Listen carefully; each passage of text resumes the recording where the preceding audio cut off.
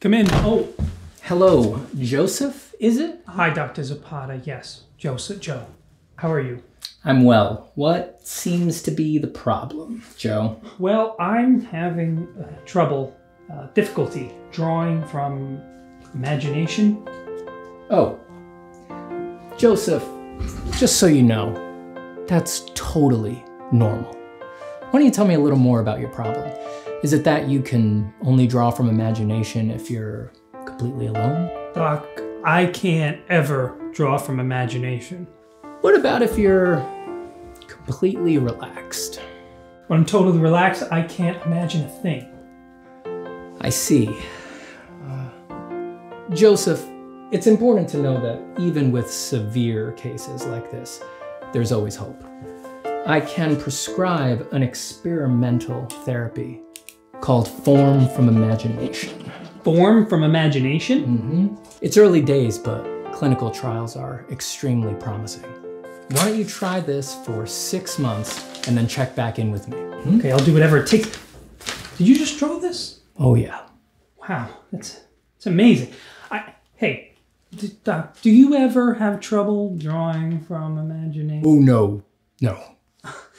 You wouldn't. I mean, you do this. That's right. Wow. Form from Imagination is an experimental therapy and is not yet approved for use by the FDA.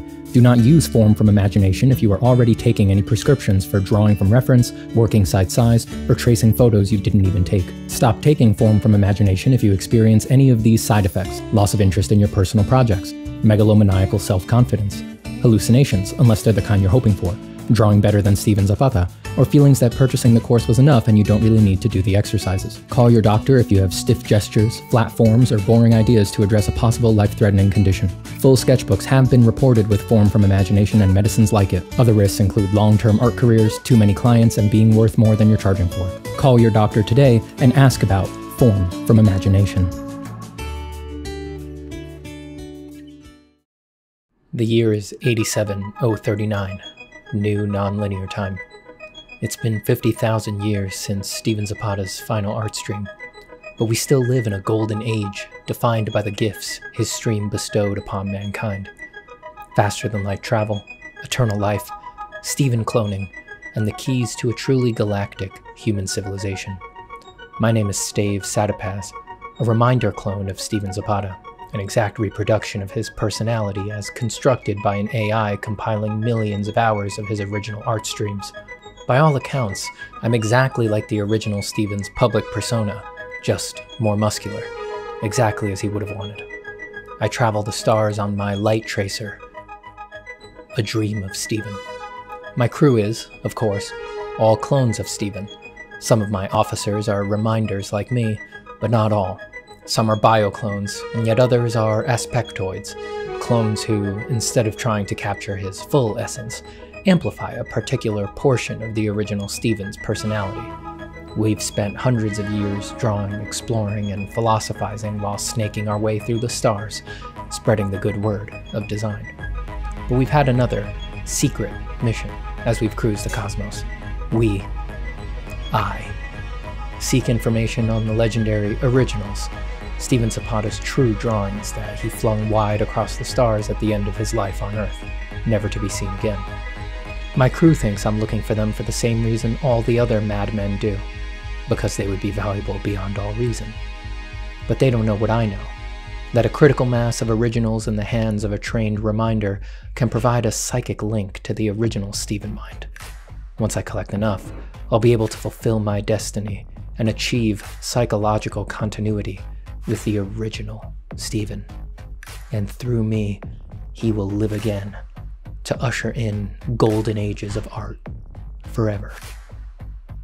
Drawing Ascendant, the eternal chronicles of Steven Zapata. Lasting Legacy 1, Epic 1.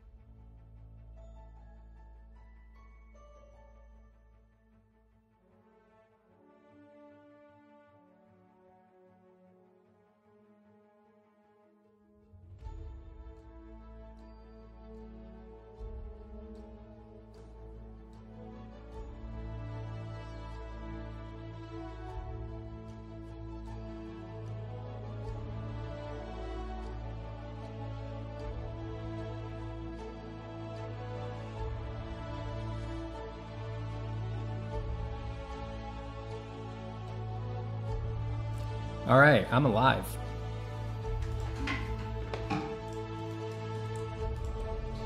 I am talking. I can't guarantee I won't have to do that again later. But for now, I am alive. Hello, Ayub Sadia, Liquid Wombat, VBR, Audio Gus, Wogarden, Mac Wing, uh, Milliwigs, Ivan, Falls, 3616, Leo Garcia, Marta Diaz, Disc Breaker, Lo-Fi Sketches, Wogarden, Vasile, VBR, Chromic Skills, Leo Garcia. I think I already got Leo Garcia. Saman Kucher. Capo Nautas. Capo Nautas. Nautas. Capo Nautas. Sandwich, a liquid wombat. Cynthia White. Slothy. Mitt. Scent sign, hell. Damiano Sherry. John D. Harvey. Eleonore. Opres MIDI, Neutral Darkness. Donnie Bereznak, Care Blair. Marcy Darcy. Ranar Cad. Defines Man, Joshua Joaquini. DSFF and Mihail Simeonov. And Motion Nakbi. Hey everybody. It's my official greetings tour. We're drawing Goblin lineup because I feel like it. And we're listening to period appropriate fantasy music while we do so. How's my audio? Am I loud enough? Is the music quiet enough? Or is the music overpowering me? I'm gonna tune it down just a bit. I barely hear it. It's just the softest of ambiance for me on my end.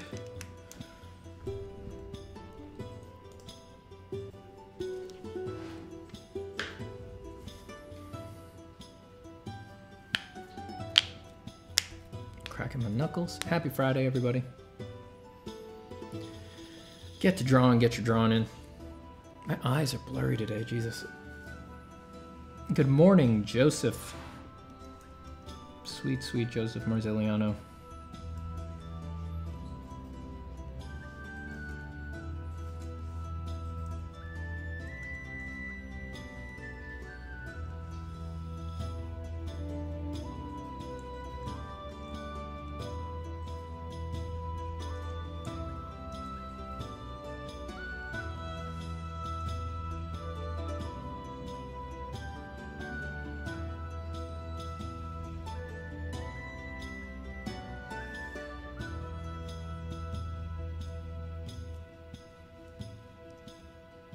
If you're into character design, if you want to get better at character design, I say it all the time, but it really is true. Uh, designing your characters in a lineup is the number one best practice that makes you better at character design. Really, it goes for any kind of design. Um, people really overlook designing in lineup and designing in context. Even if you're just doing random stuff, working within a set even if you have no other criteria, you don't have a narrative or anything that you're specifically trying to stick to, will automatically make you flex your design brain and make you stretch and push and develop archetypes and try to design clean silhouettes and things like that. It'll happen automatically. It's the number one most overlooked secret practice technique.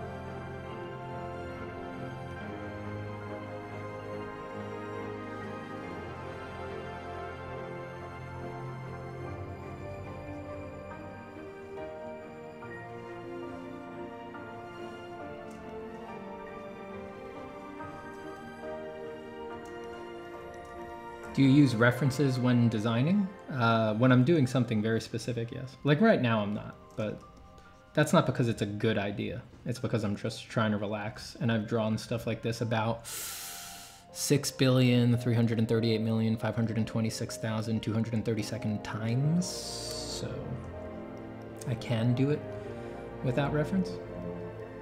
But if I was on the job or something like that, I would uh, definitely be using reference. Absolutely.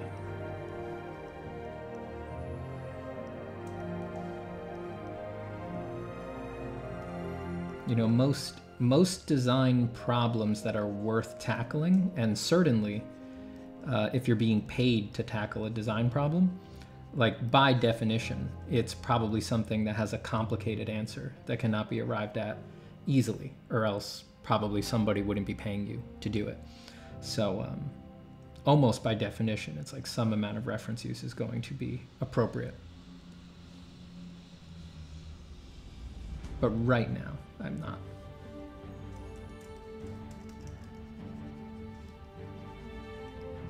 I, I enjoy, for the sake of exercise and practice, um, inventing from scratch. And it also just lets me focus very deeply on the drawings instead of constantly getting distracted by the reference.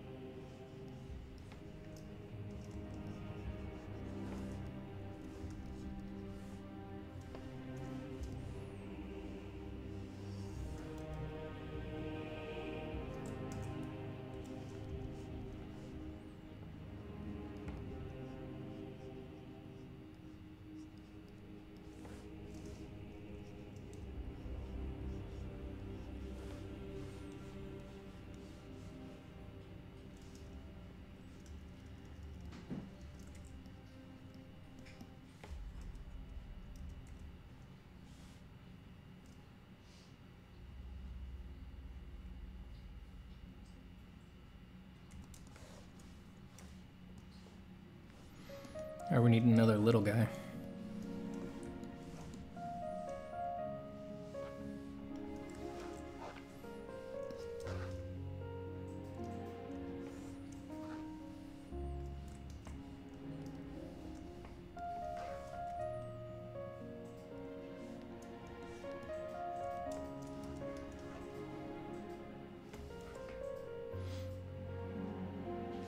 Stream name sounds kind of like a manga title. It'd be a very long manga title.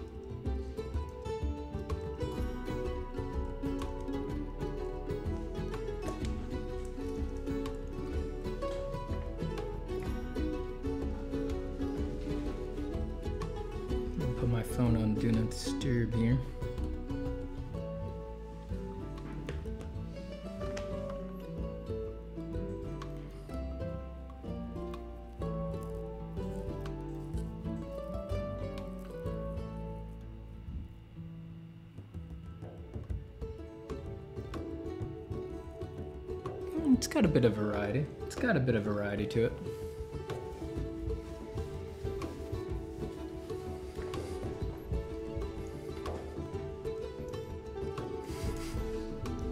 All right, let's poke around a bit.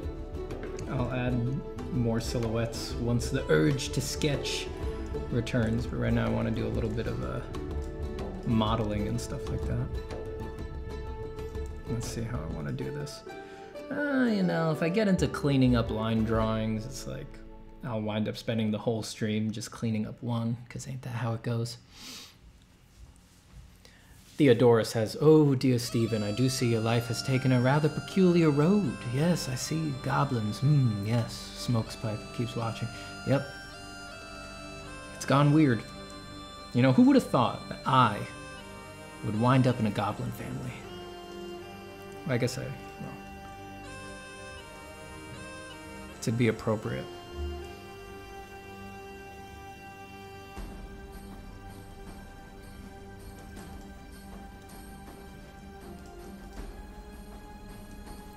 To keep it in line. Modern day James says Deirdre is going to be sad. I mean,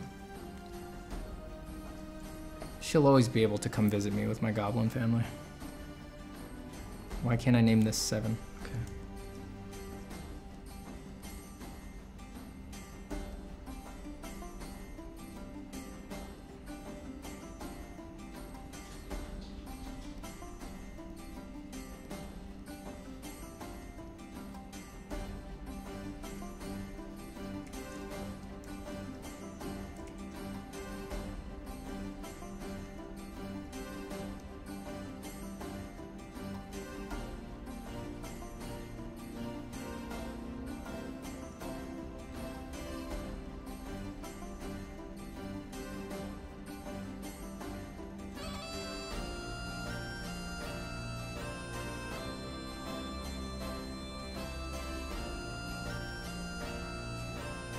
Does my hair look like these days? All right.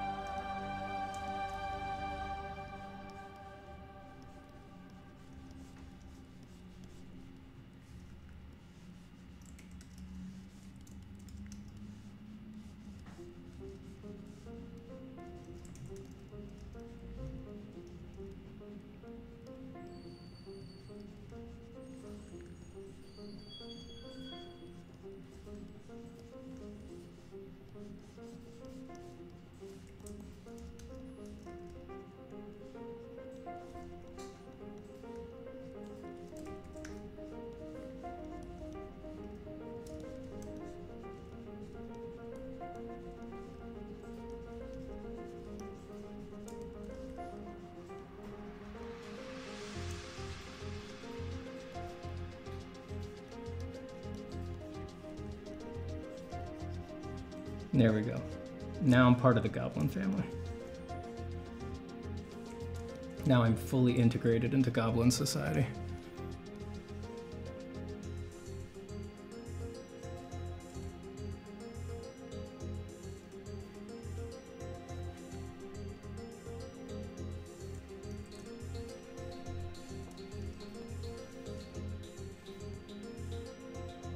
Wait, I have an extra layer in here.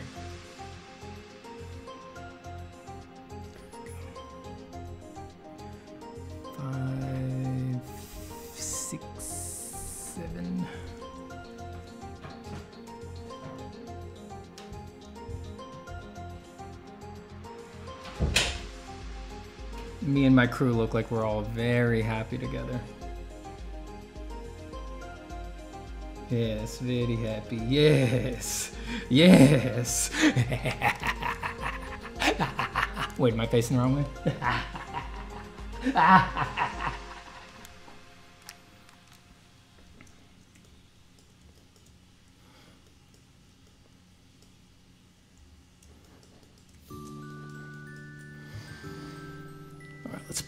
some of these.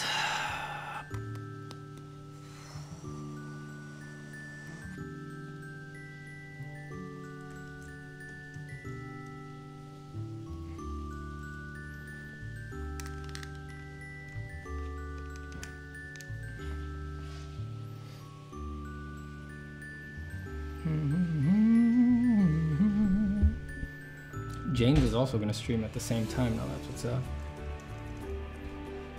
People have a an abundance of streams to choose from.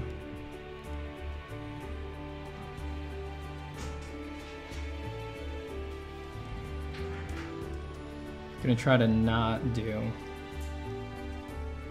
typical green or blue colors that I usually do for goblins and orcs.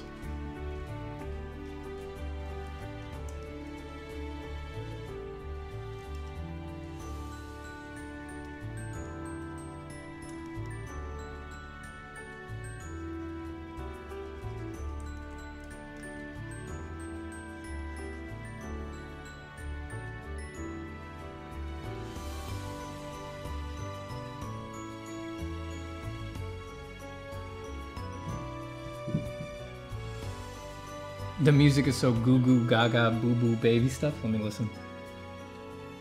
Oh yeah, you're right. The music's so low that I can completely tune it out.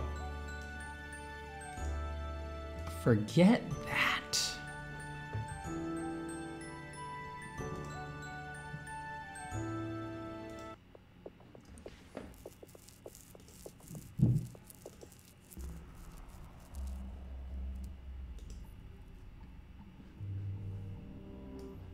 Have difficulty playing music on stream because uh, I don't really listen to music these days while I draw.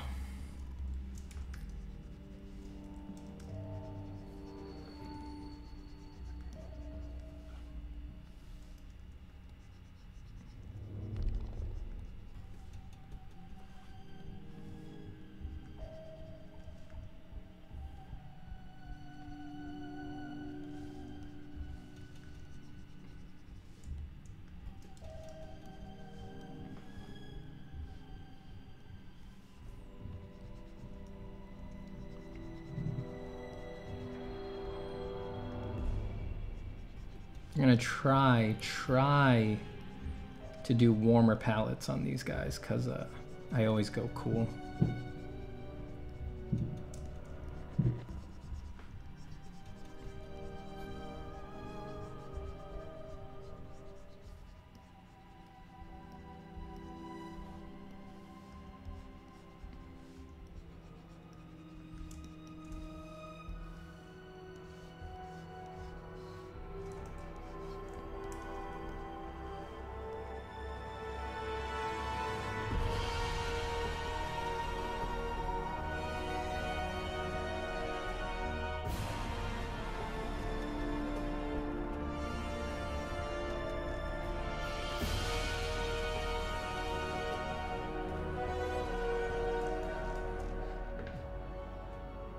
Can listening to music other than classical be distracting or overstimulating for you? Even classical, uh, I find bothersome usually. It's it's not so much the music. I just um, I don't know. These days, I just don't like having that. I don't know the. I'm I, I find no music satisfactory. So if I have it playing while I draw, I waste so much time changing it and reacting to it and um, looking for something else to listen to. So I can really only listen to music when I draw if I only listen to one song on repeat over and over and over again for hours. That's the only way it can work. But um, I generally don't even try to do that. I listen to audiobooks mostly while I work. people talking feels like company, you know, or it's just interesting to take in new information. But um, yeah, I rarely use music these days.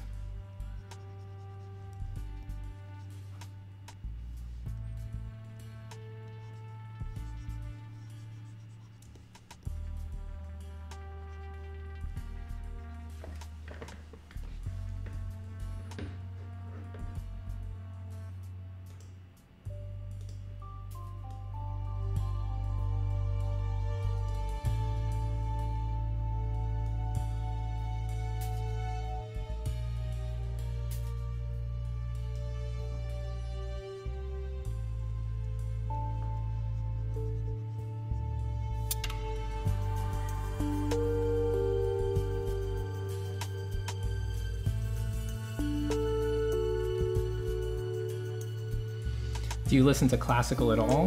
Not really, unless you count like Ariana Grande, Cardi B, Beyonce. If you count them as classics, then yeah.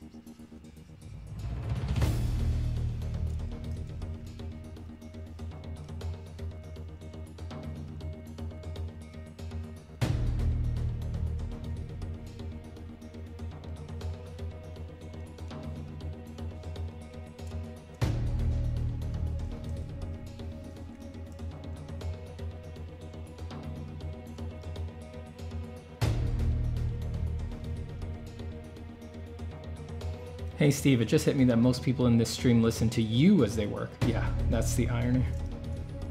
That is the irony. If only I could stand to listen to myself, I would just listen to these streams back while I do my own work.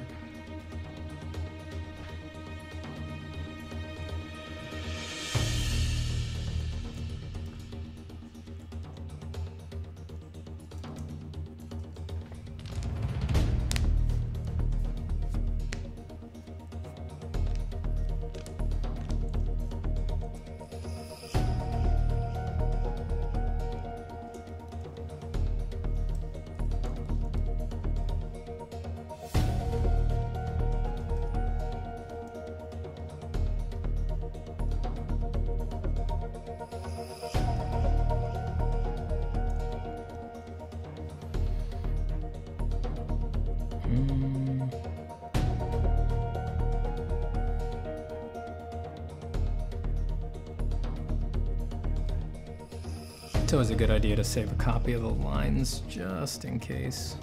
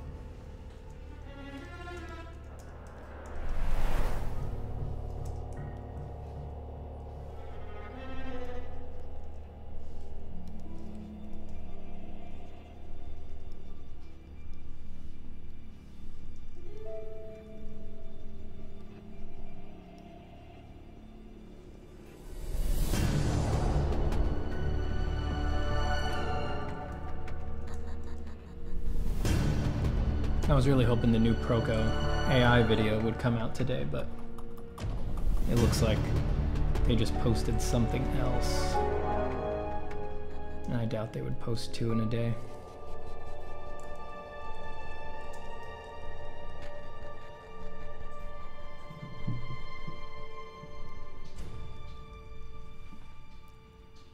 C'est la vie.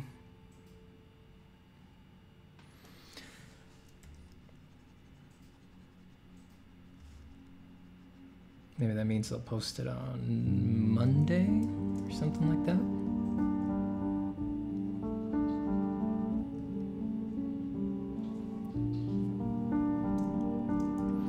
Theodore says, gotta get off the bus soon. Need to get that notification button working. Yeah, what's up with those buttons?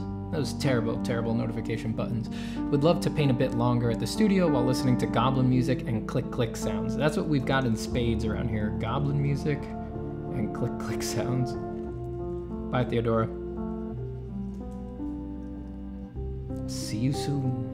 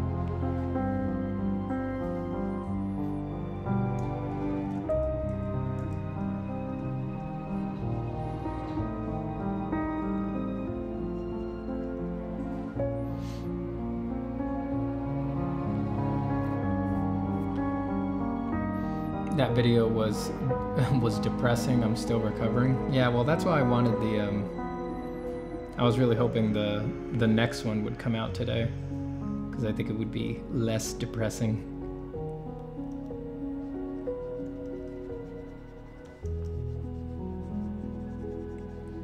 Who knows? Maybe Proko will still post it today.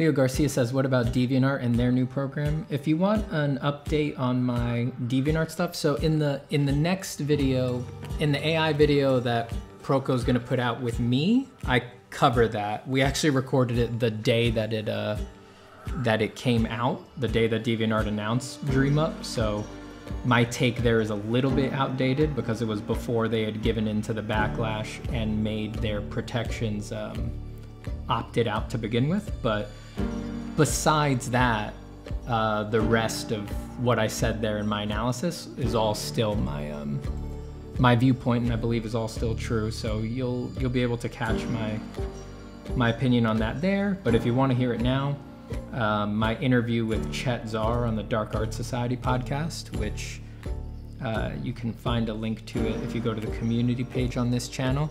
I go into it in detail there.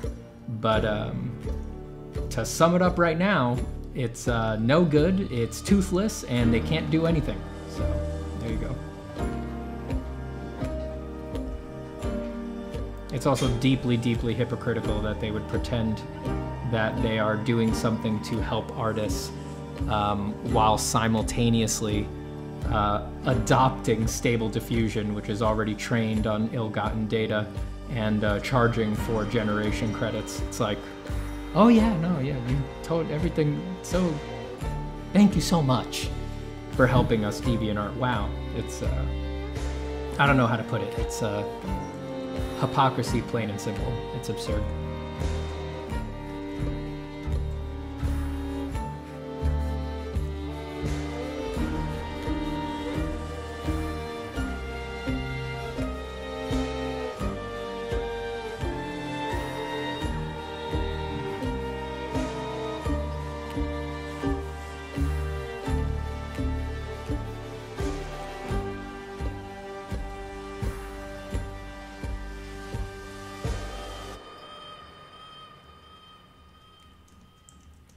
Listening to that Twitter space with DeviantArt and RJ Palmer was a trip. Yeah, I mean, it was just clear that um, they had only spoken to venture capital people who just brainwash them to being like, we need to do this to survive the, the machine learning gold rush. It's like they, they clearly didn't ask anyone in their actual audience what they thought about this or what they should do. It was just it reeked of desperation. It was totally tone deaf. It's it's silly across the board, and um, I don't know. DeviantArt deserves all of the bad faith that they're getting, as far as I'm concerned. It just really displayed that they don't.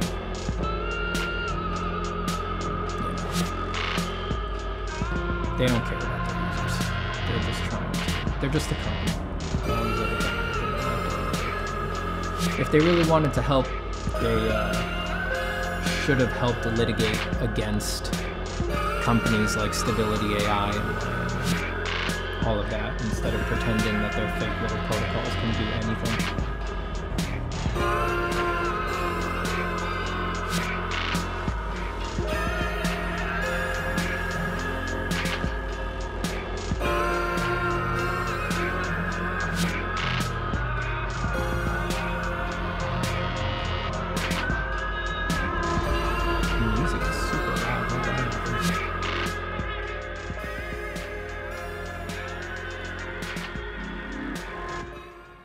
Sorry, that track must just be extra loud for some reason.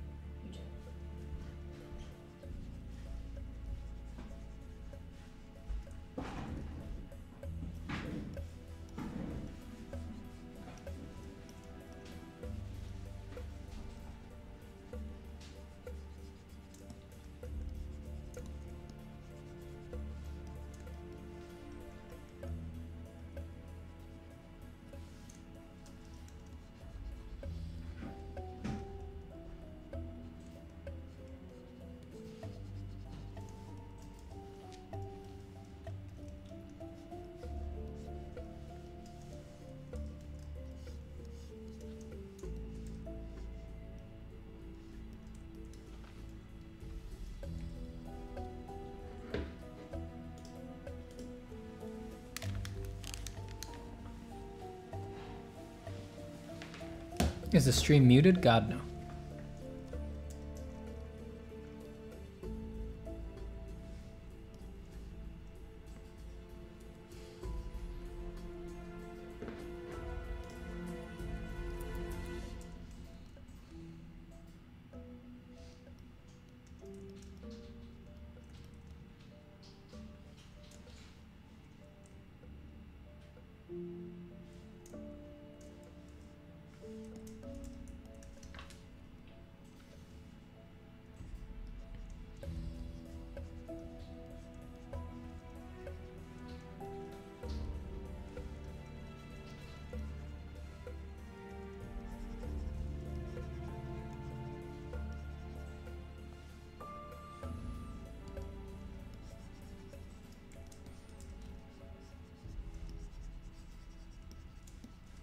Get some random noise on this dirty shirt.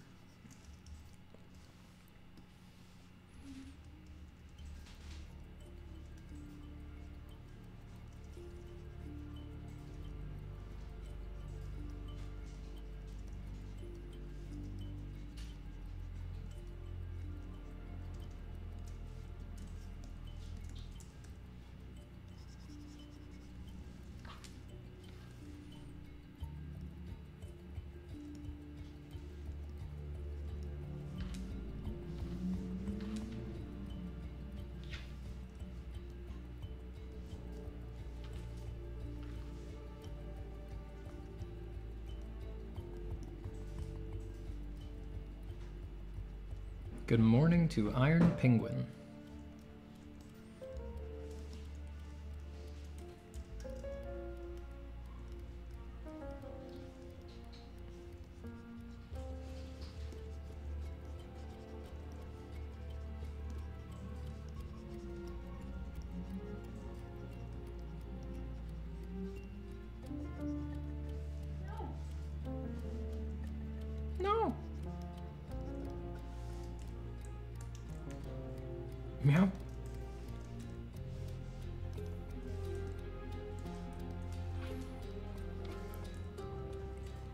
Music is louder than you, bro. I'm done with this.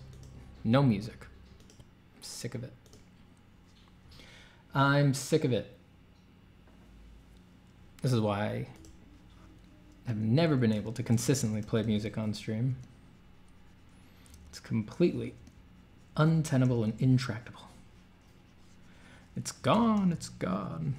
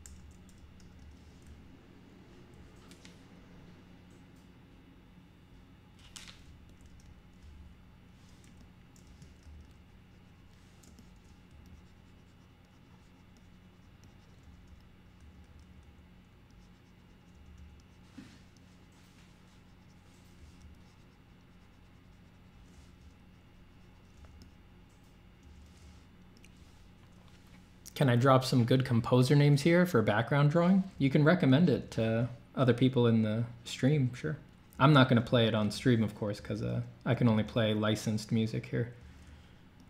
Music that I have the rights to play, so.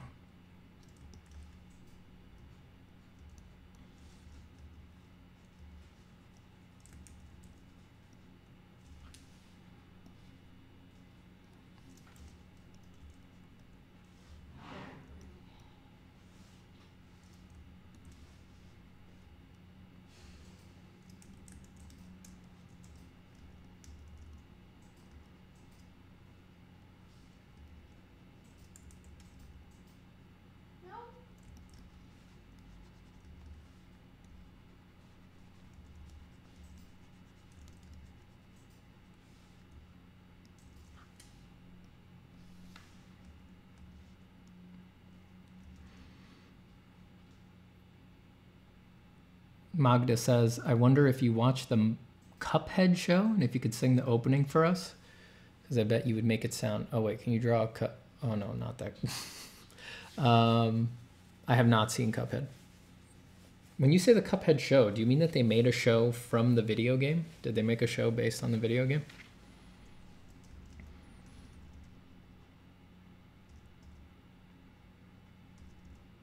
I'm sorry, but I do not know the theme song.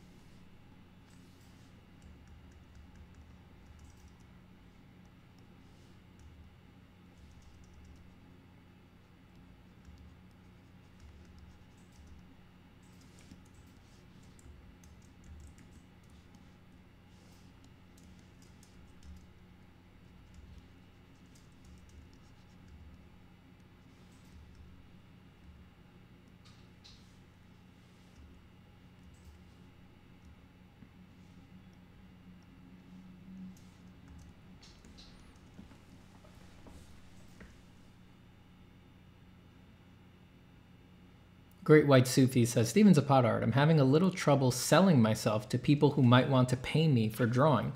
Have you ever had problems like that, or were you just too good?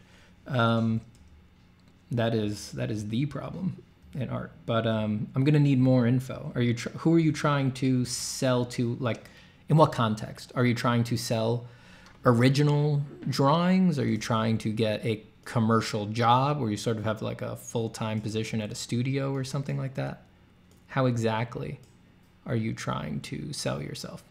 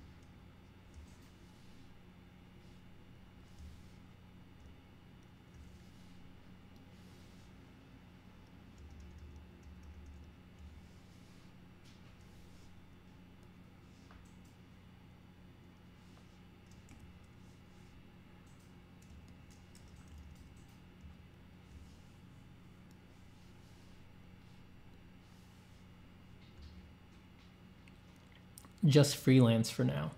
Um, yeah, you need um. It's got to be more specific. You know, you've got to be if you want a job, um, especially for freelance, right? Because in freelance, you're generally not being hired for general ability. You're being hired for specific outputs you've got to be very, very targeted in what you put out there. You know, if you just show the world, hey, I'm great at drawing, there's really not that many opportunities out there at any given time where someone needs to hire someone who's great at drawing just in abstractum. Um, you've got to instead show that, oh, I'm very good at drawing this particular subject matter, which is appropriate to this particular fandom, or I work in this particular style that's very popular right now. Like you've got to you've got to pre-package it in a sense.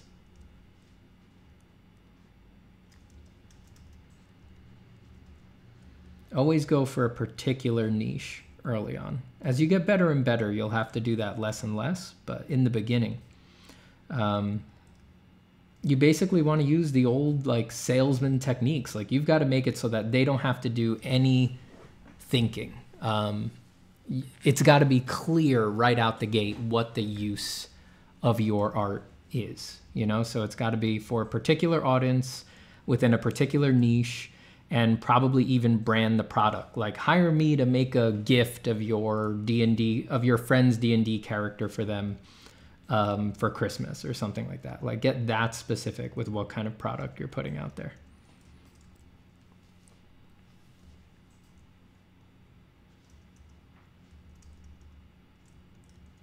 because most people are just never going to look at the excellent work of an artist and extrapolate and be like, huh, I think I have an idea for what I could hire them for, you know? Ah, if they could do that, I bet I could they could do this. It's like very few people are going to do that. Even art directors, not even a lot of art directors will do that. Art directors have so many options that they're the they don't really need to sit around extrapolating. They look for people who already have exactly what they need in their portfolio.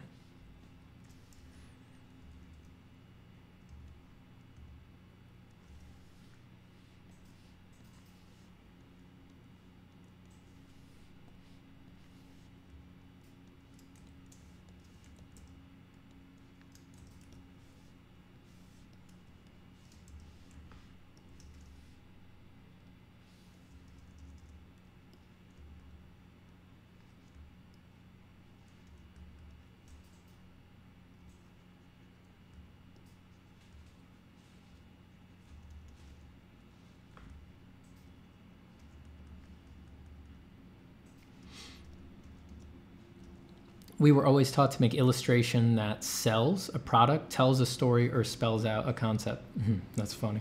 Sells, tells, or spells.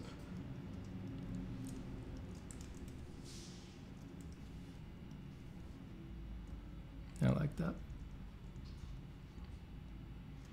Just don't do anything that you're not actually interested in. Like, you don't want to pander because uh, you'll get bored of what you're doing real quick and then you'll wish you'd never done it. You always want to avoid that.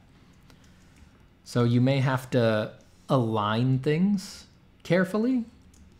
And you may have to, yeah, be a little shrewd business wise, but you do not want to, um, you don't want to do anything that you don't actually care about. You don't want to do anything just for the business side. You can do it for a little bit, but it'll never be sustainable, you know?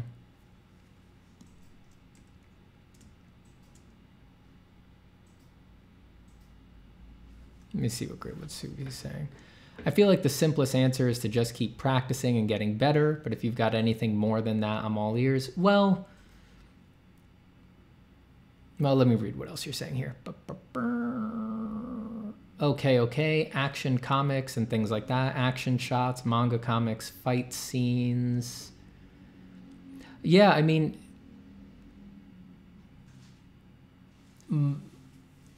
if you're if you're going to try to angle specifically into things like fight scenes, action shots, manga comics, well, first off, there's there's very little freelance available for making comics unless you've already made a comic. Like eh, from my experience and from people that I've met, if you just have a portfolio that's just drawings, even if they're excellent drawings, no one's going to reach out to you and be like, hey can you make a comic for us? Or can we hire you on spec or with a with a with an advance to make a, a comic?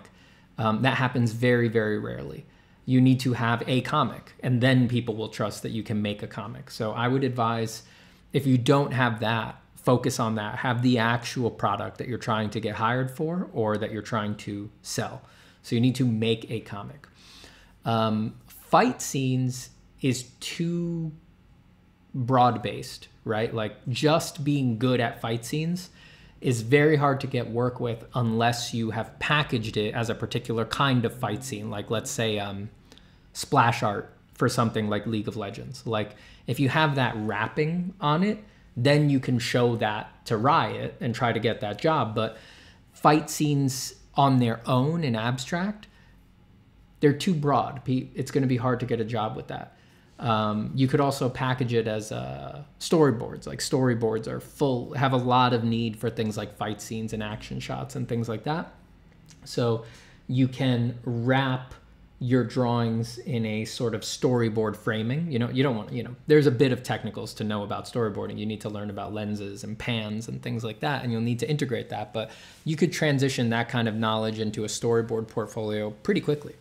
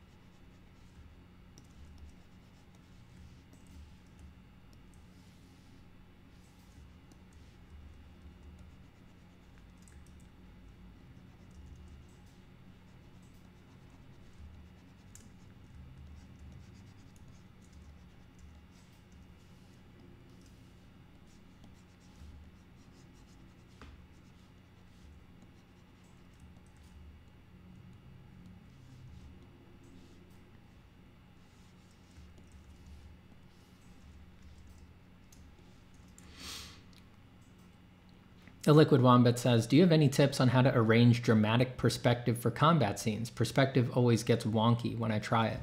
Um, it's always going to come down to the specifics of the environment that that fight, fight or action scene is going on in. There's not going to be any kind of canned answer there, but generally wide angles, you know, wide angle lenses are what you want to use. So to just quickly demonstrate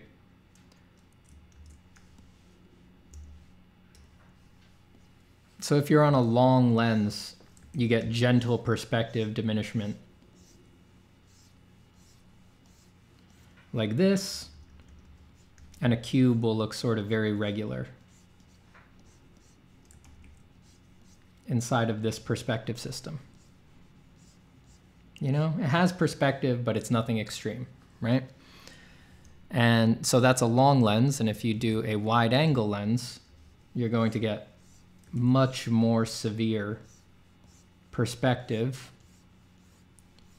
throughout the scene. That'll make a cube look much more much more pushed within this perspective environment. And that tends to look a little bit more dynamic. I'll stretch it out even more.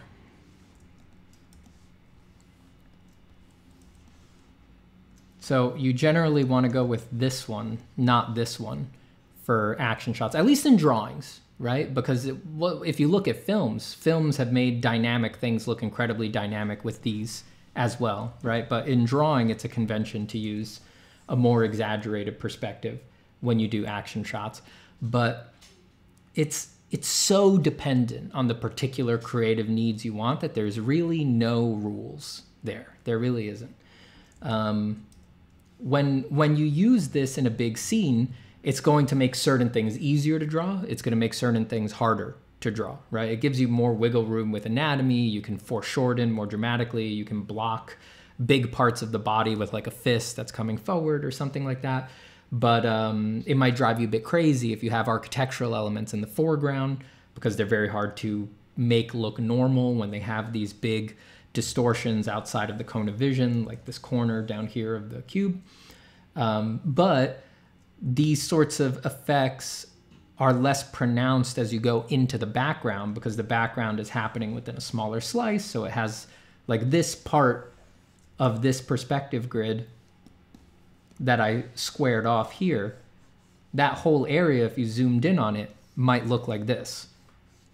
So within the background, often you get more acceptable perspective distortions. So background elements that are back there, like architectural elements, buildings, something like that, they'll hold up a little bit better way back there. Um, so, you know, once you become familiar with those problems that the different lenses create, you can arrange your designs to avoid the problems and lean into the easy stuff. So you'd put your figures closer to the foreground, you'd put your architectural elements more into the background, and if you do have architectural elements in the foreground, you try to either cheat them so that they're not exactly following the insane perspective that's going on down here at the bottom of frame, or you pick architectural elements that are perhaps a little bit more organic because this hard edge of the cube really shows how out of the cone of vision we are here but if I had an organic architectural element, let's say like a curving staircase or something like that, that just doesn't read as weird because the eye doesn't map the curves uh, as rigidly to perspective as it does the rectilinear lines. We're really out in the weeds here. that's yeah, that's uh, hardcore drawing stuff.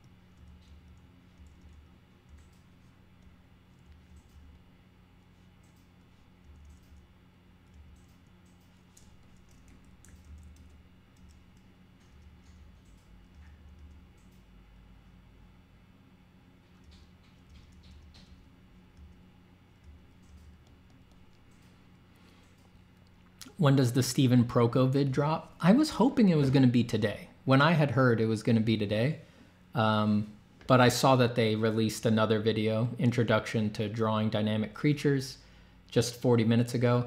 Uh, and from just from what I've seen from Proko, they rarely release more than one video in a day. Uh, so I take that to mean that they maybe haven't finished editing it or something like that. So I don't think it's going to be today, folks.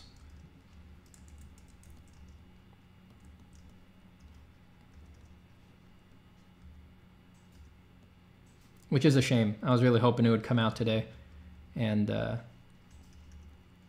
I want it out there quick because I think it'll be a a good medicinal solve for uh, a lot of the things that came up in the previous AI conversation on Proko with Evan.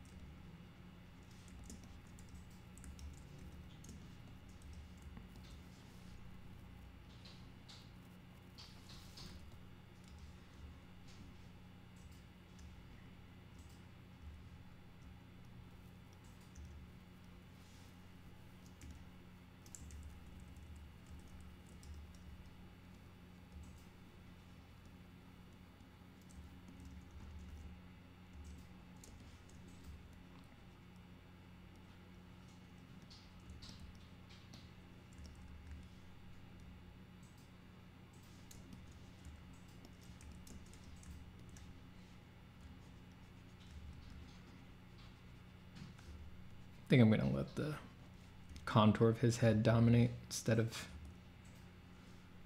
that strap. Just going to tuck that strap behind the edge of his face.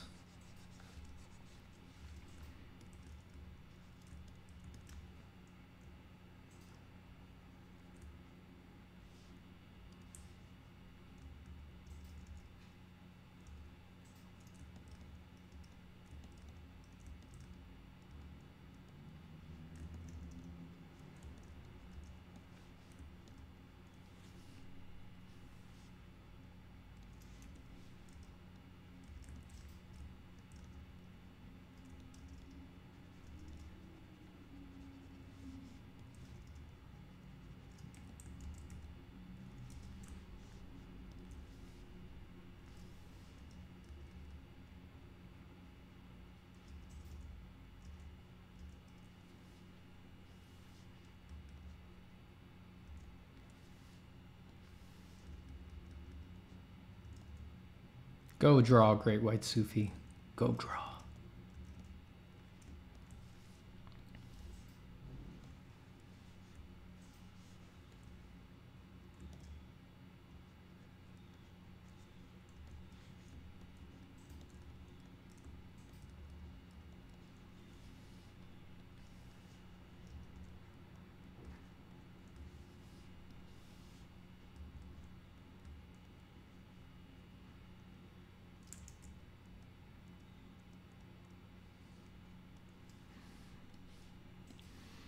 Rock Chen says, Have you ever drawn any female goblins? No, never. Never! And I never will.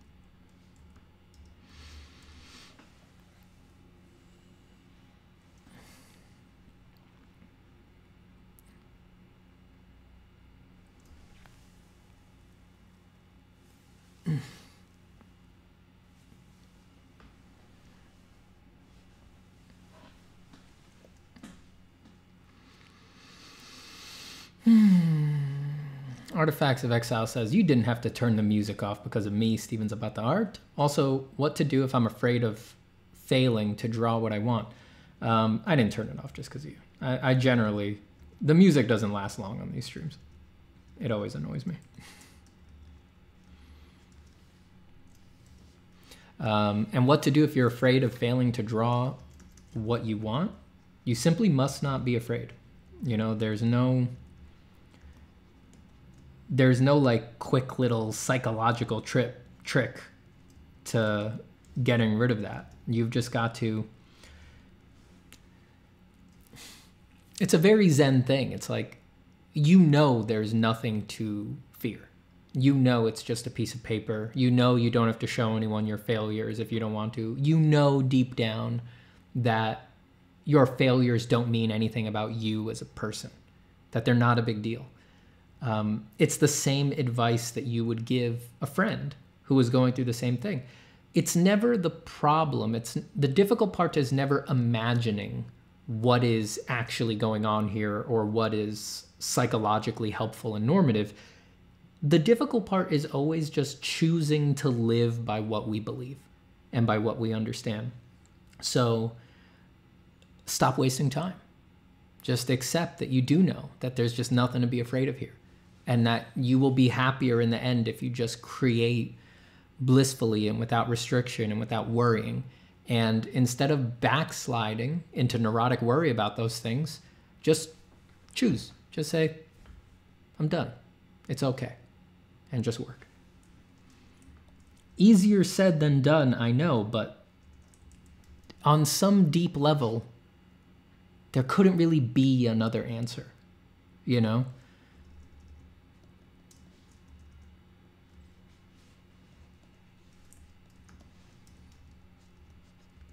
You can try to trick yourself with like a life hack or something like that, but um, it's not really the life hack doing it. You know, if you feel like a life hack is what did it, it just means that that gave you some sort of backdoor into accepting it for yourself.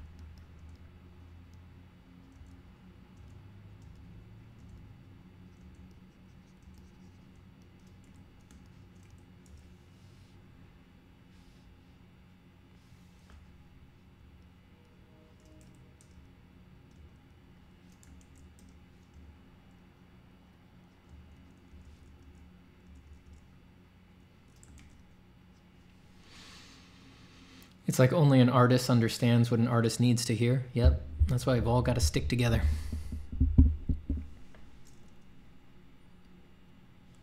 Non artists just don't understand.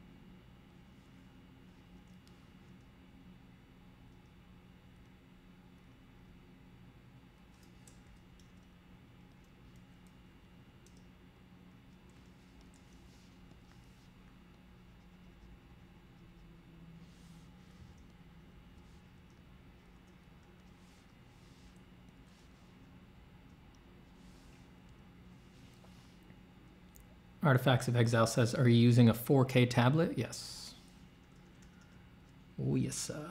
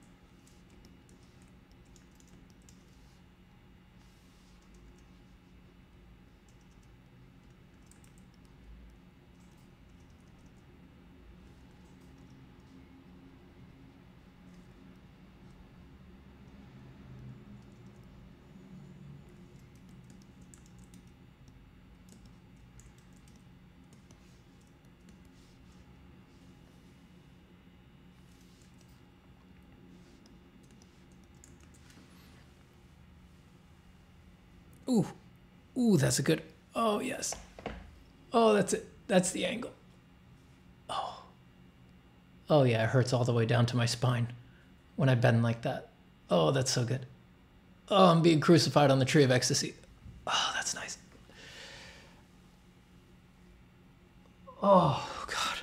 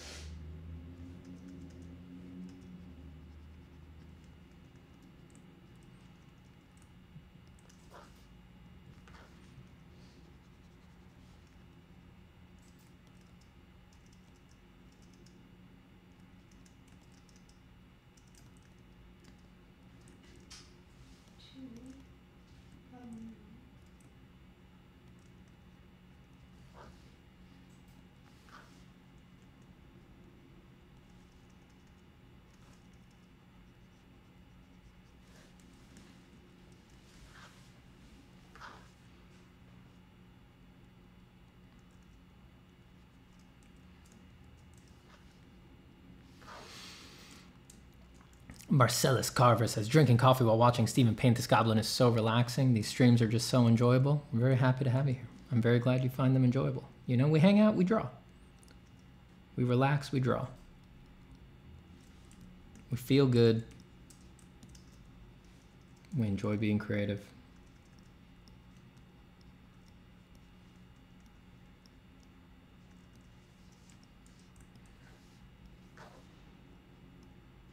And as we said earlier, it's artists who understand other artists. So occasionally we've all got to chat with each other, support each other. Because uh, there's not that many other people out there who will.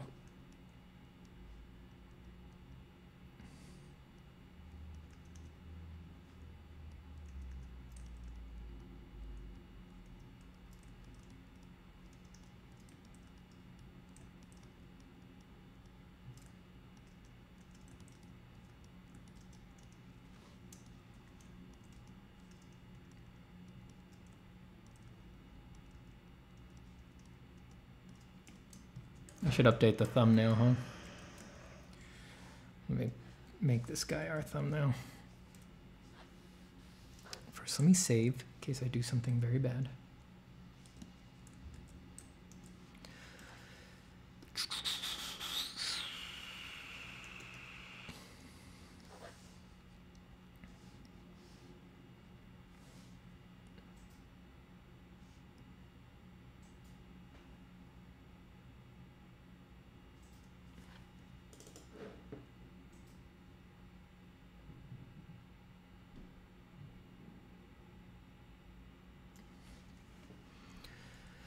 A little value boost for the small size. Might also give me a preview of what these guys would look like in their final form after adjustments. I don't like to paint like this though. I like to paint low contrast because it always leaves it open for uh, more interstitial values between modeling factors. And we'll just make this 1920 by 1080. Goodbye, Cynthia White. See you on the next video.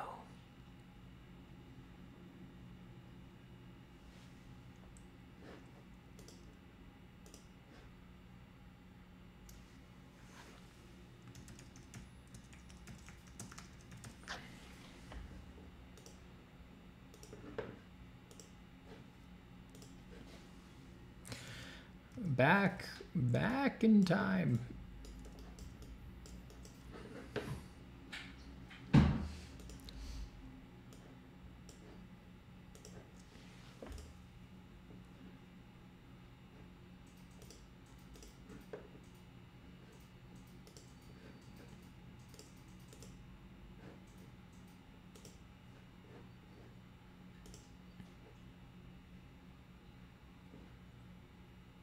All right, cool.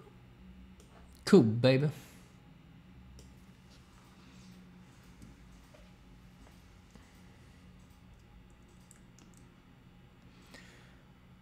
On call says Steven, I'm currently using the Huion Kamvas 16. Uh, though precision is fine, the ergonomics are e- effing disaster. What tablet would you prefer as an upgrade? I'm using the Kamvas, uh, the 4K version, the 24 or whatever it is. Um, I think the ergonomics on all screen tablets are a disaster. I mean, you use them because you need to. Uh, I, I personally think ergonomically, nothing quite beats the iPad Pro. You know, if you really need a very ergonomic experience, I'd try that one out. It really makes a big difference that it's light and you can rotate it easily and you can take it to the couch and stuff like that. But yeah, screen tablets are just uh, no good for ergonomics even on an even on a robot arm, I've always found them very uh, very hard on the back, very hard on the wrists. Screenless tablets are much better for ergonomics because you just get to sit all the way back and look at the screen head on. It's a sacrifice that you make if you're going to do a lot of drawing. You know, a screen tablet is much better if your your gig or your particular kind of work involves a lot of digital drawing but um, yeah, they're just not good ergonomics wise.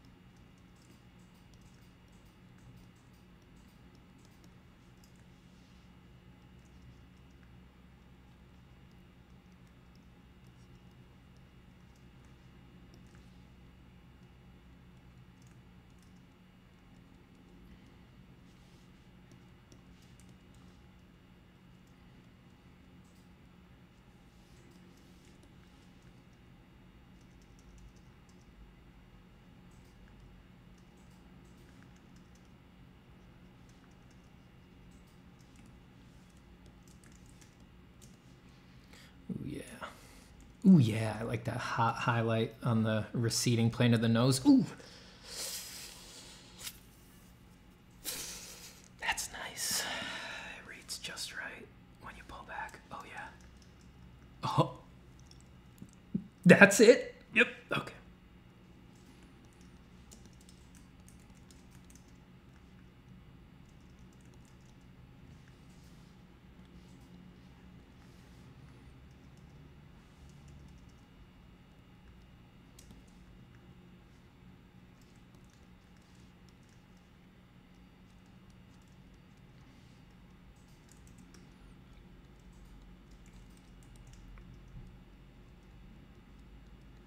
Could go totally crazy with the render here. Gonna try not to. Gonna try to leave it kind of brushy brushy like this because I mean, it already does its job when you pull back like that. That That's all the read you're gonna get if you're gonna look at the whole lineup, you know.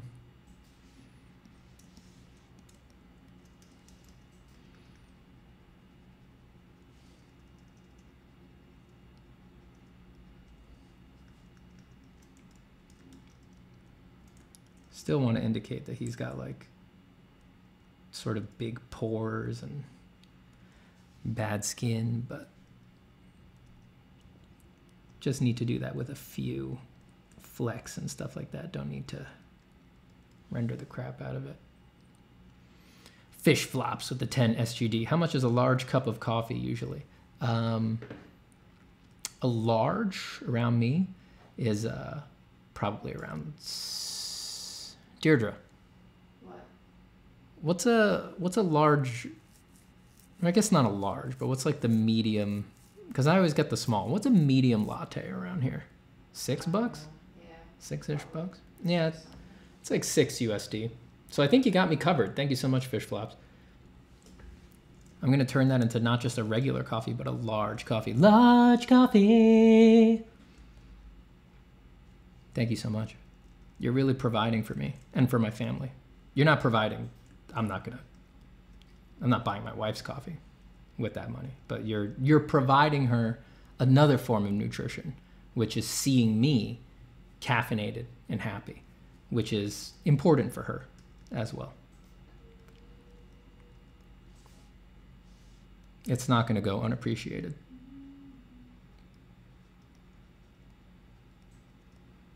You know, she's going to pay due honor to Fish Flops as well. Fish Flops, I noticed that uh, in another venue, your uh, your handle is Marine Moccasins, and that really made me laugh. that really made me laugh when I saw that.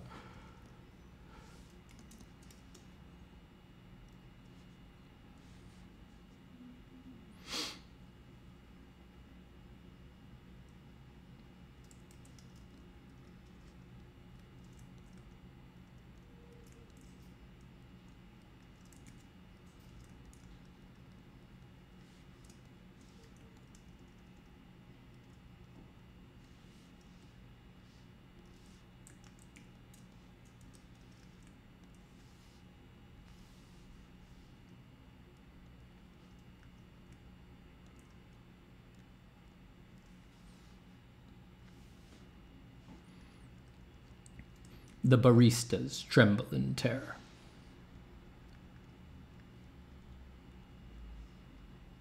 Oh no, it's four o'clock. Do you think he's gonna come in? No way, not after last time. I mean, God, did you see what the cops did to him? Yeah, but then once he slipped out of their grasp, they couldn't find him again.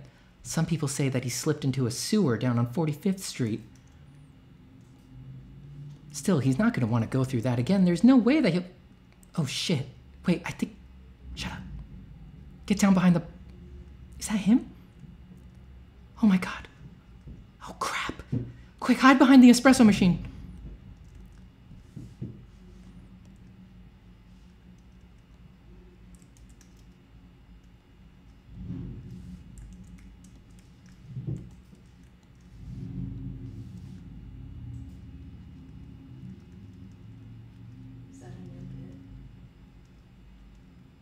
Yeah, Deirdre, it was a new bit. Oh, stop it. Don't you dare tell me my bits need work. Don't you ever say that shit to me. Come on. Deirdre, what you don't understand is that there's there's a deep lore that you're unaware of because you only work from home one day a week. And all I'm asking for is just just to res- that you respect that fact. That there's there's things going on here that maybe you don't understand. All right? Cold shoulder from my wife on that one.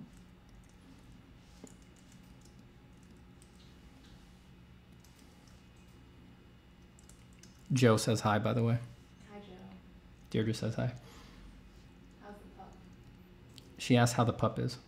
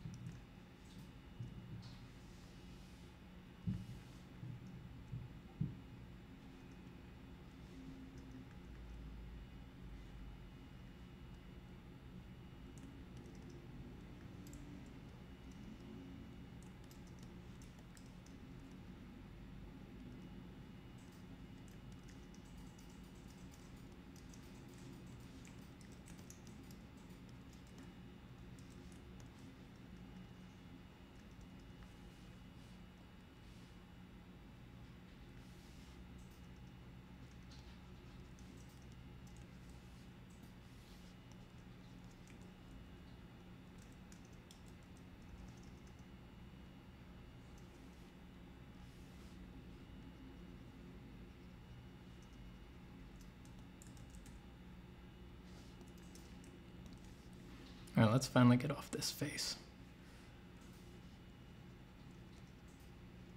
You know, it's all right to waste a lot of time on the face because, uh, I mean, in some sense, it's like if the face is there, it's like even like that, it'll work for some people. like that, that's really all they need. They can fill in the rest.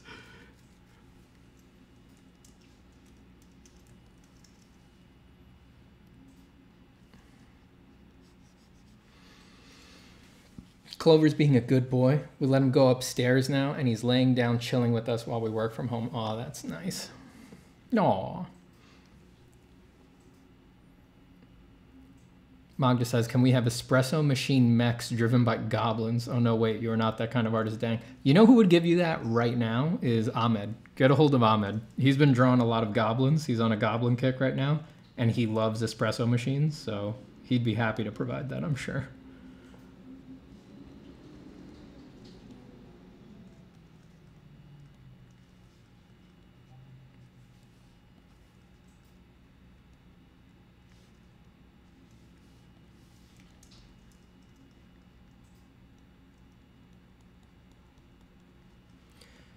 Do do do do do do. Ba da da ba da up boom. Do do do do da da da da.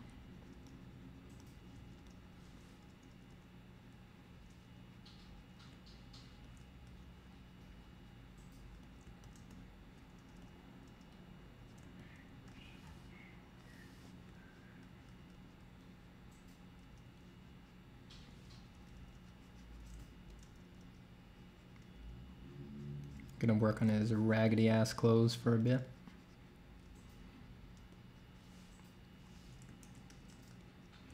His raggedy ass clothes. Where'd you get those clothes? From the Raggedy Ass store. Hi there, welcome to the Raggedy Ass store. We have all sorts of raggedy stuff. Uh, ironically, we do not have ass. You can't carry that.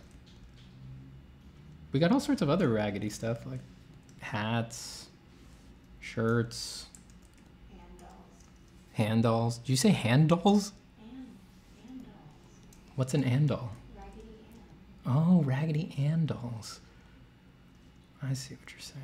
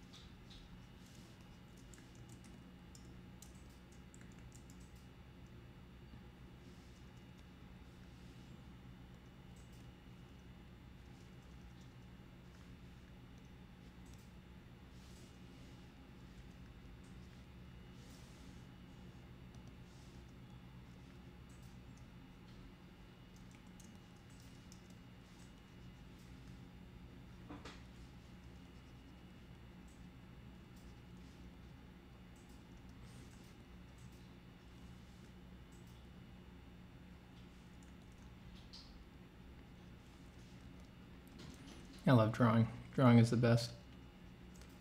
It really is. I, it's amazing how important it is to me to just move my hand like this. It's like if I move my hand like this, I'm happy. And if I go too many days without moving my hand like this, I'm depressed. It's not going to go well.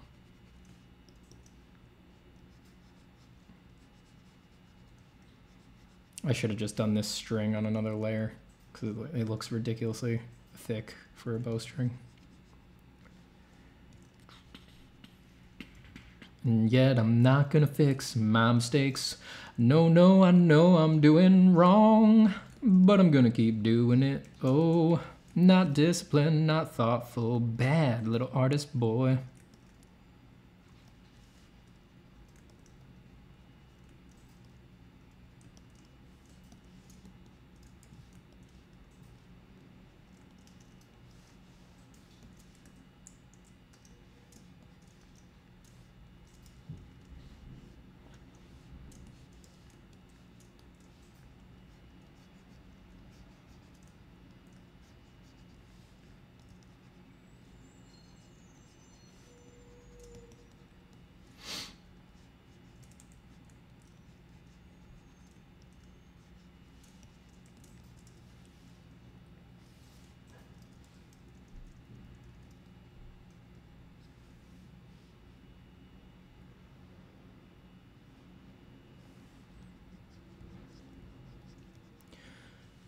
To stay off the pure black for the dark accents for now because uh, it's inevitable that I would do a levels layer on these guys at the end. And uh, if there's pure black in there, it'll crunch down in a very ugly way.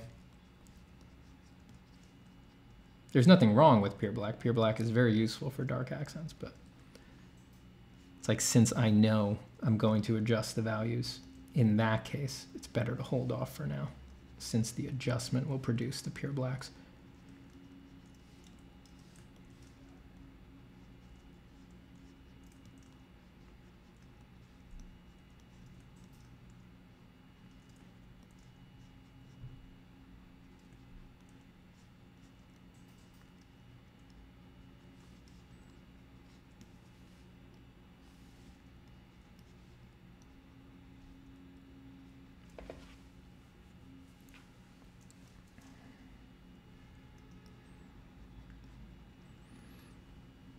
I envy your relationship with art. These are so cool, man. Don't envy it. You can have a relationship with art too. Truly, a beautiful relationship is available there. Build one up for yourself a relationship with your creativity. It is such an amazing thing. Drawing is my oldest and best friend. It has been with me through so much. It has also screwed me over so many times. Bit of a dick sometimes. Also very needy, very needy friend. Not the kind of friend you can just be casual friends with. Wants constant attention, high maintenance.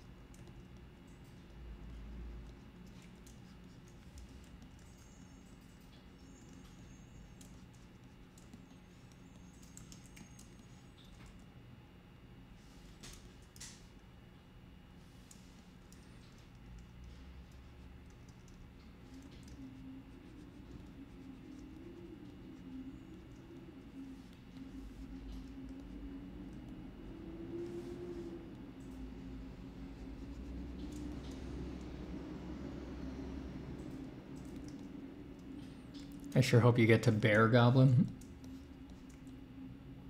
I want to get to all these. He will be fun though.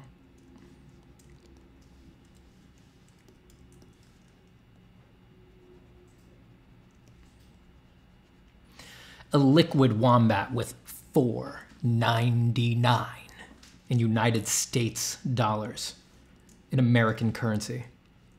Incredible. Hopefully for a ticket to the light tracer to get off this rock. Look, you're going to need to pay way more than that to get on a light tracer.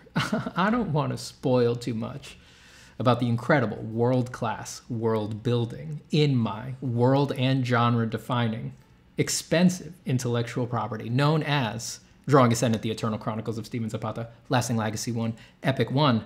But light, light tracers require quite a bit of resources. quite a bit of resources to operate. And you guys probably have never heard of a world building concept like this, but um, that resource, difficult to obtain.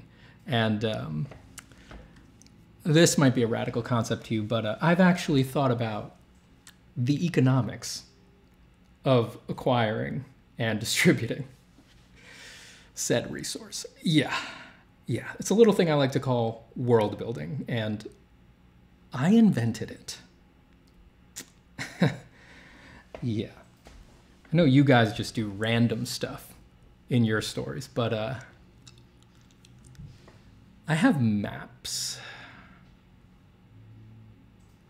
family trees. I've even um I don't want to give too much away, but uh I've invented some words. Yeah. Yeah. Yeah.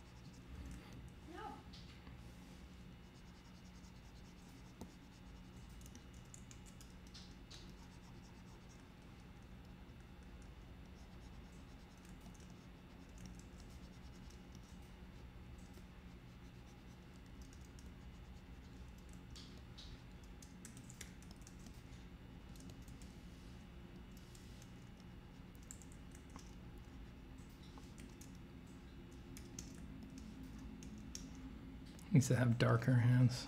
Dirty, dirty hands.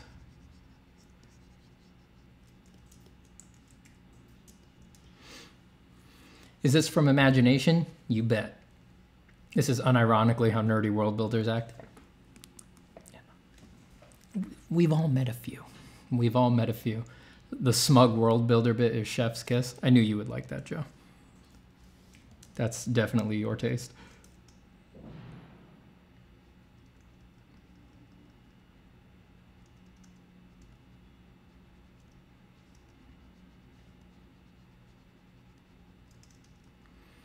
Imagine if Tolkien was like this. Yeah, I mean, it is funny. It, it, it is funny how deeply uncool it is to talk about it.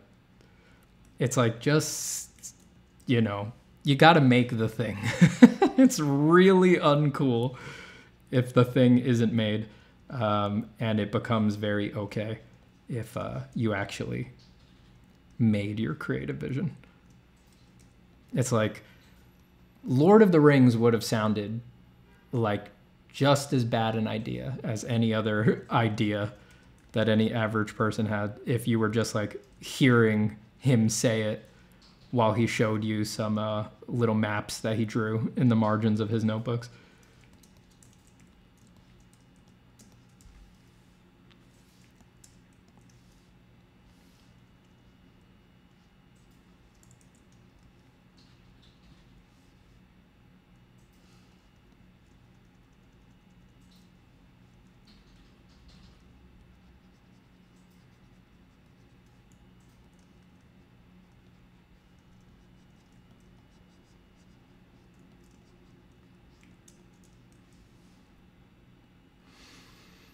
Steven, the last episode of the A to Z podcast was so funny. Too bad it's the last episode. Yeah, it's a shame.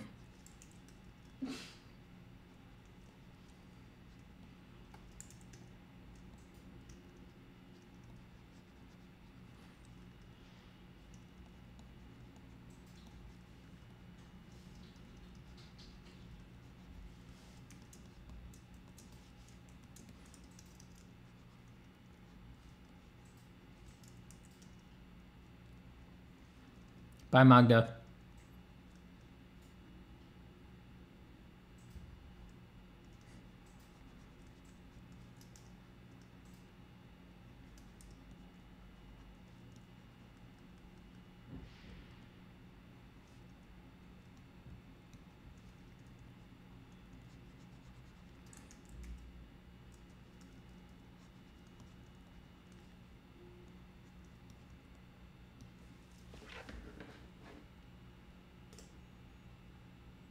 I just remembered something. Excuse me while I check it. No, not you, deal. Just talking to the chat.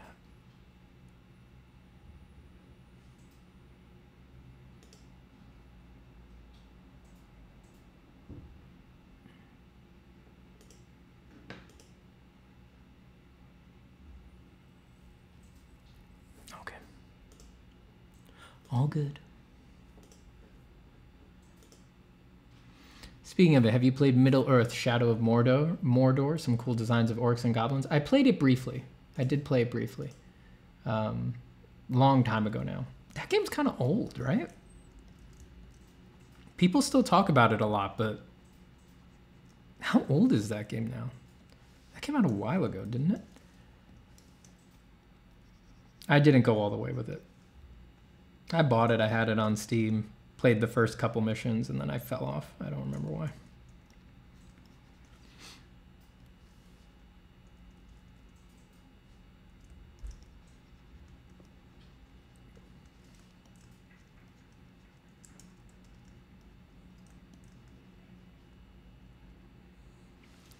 Is this a self portrait of yourself as an elf? No. This is the self portrait of me as a member of the goblin family.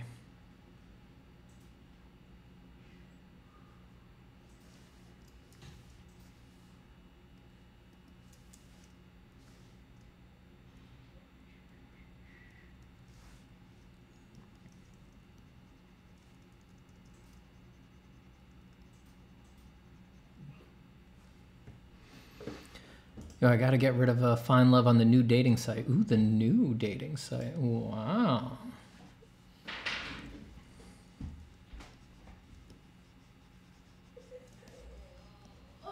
How you doing over there, Didi? Sunshine.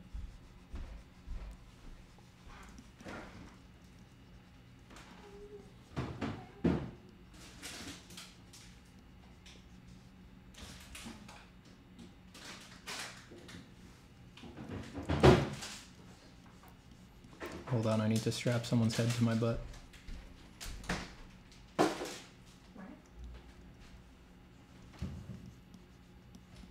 Get a good whiff, buddy.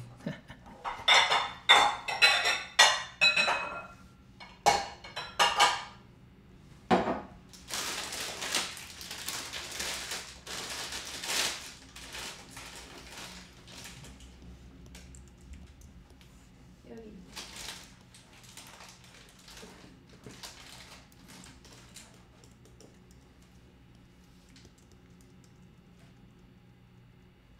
No, did the arugula go off?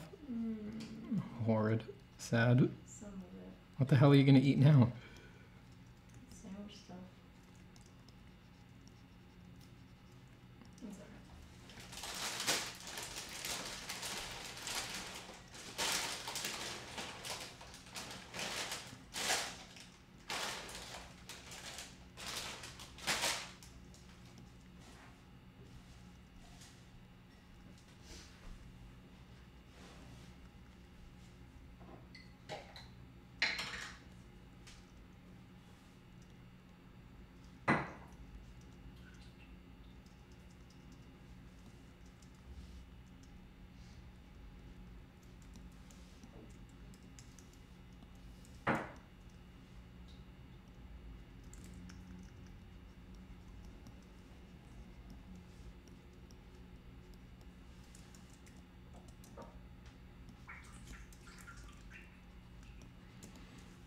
The most overrated artist in your opinion? Definitely me. Absolutely. People are always saying that my draftsmanship is without equal, that I create the best characters, that I have a near inhuman understanding of lighting and values, that my rendering is completely unequaled in all of art history.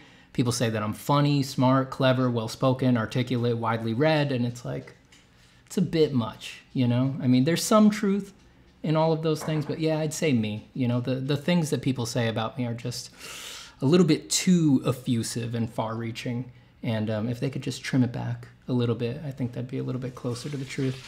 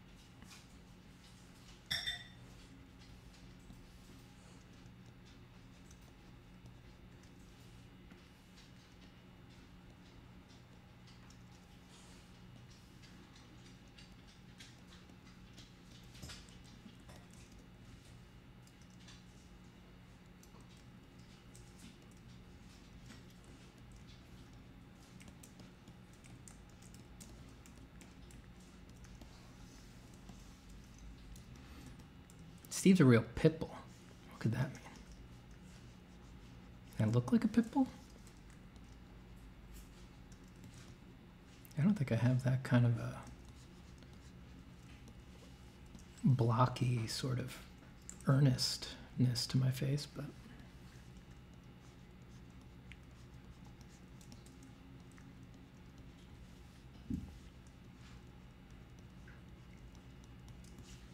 I'm a rather slight man.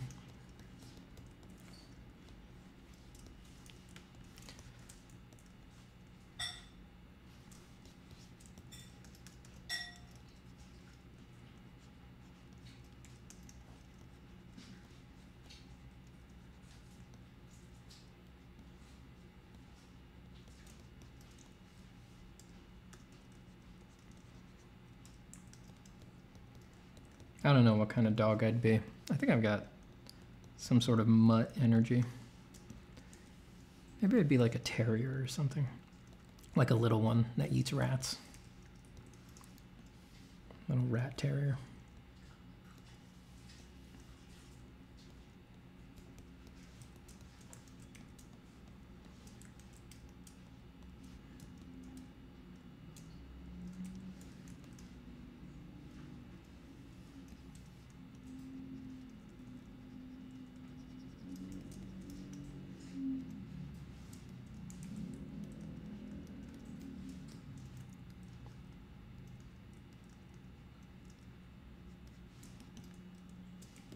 Looks like a little shark. I came out looking like a shark.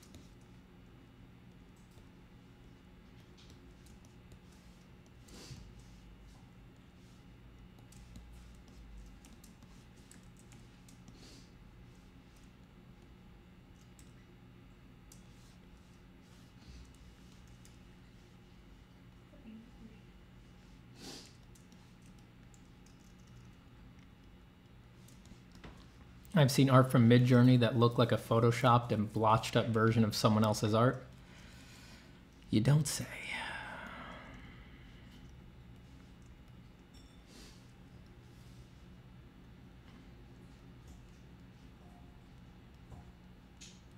Why are you guys being mean to AI art? I thought everybody here loved AI art.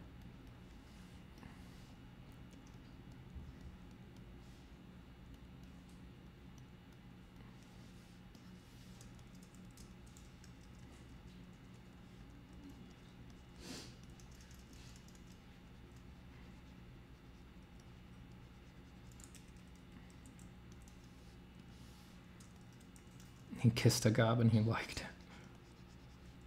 He kissed a goblin he liked it. Taste of his human dinner.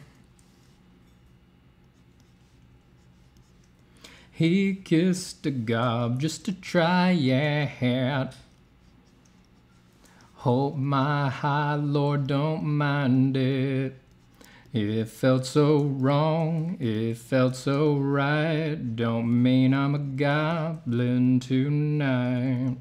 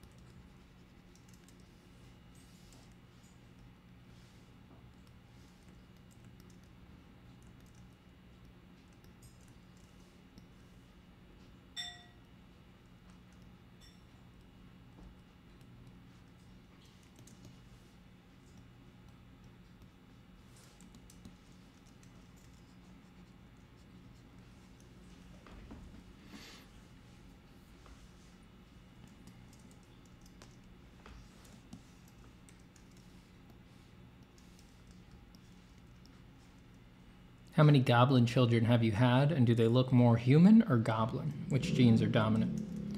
No kids yet. You know?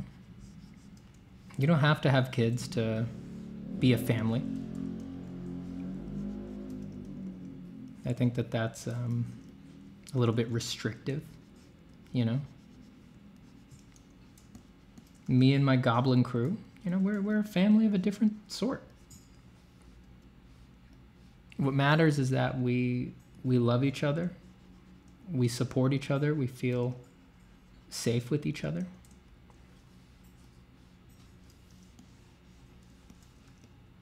That we can always depend on each other.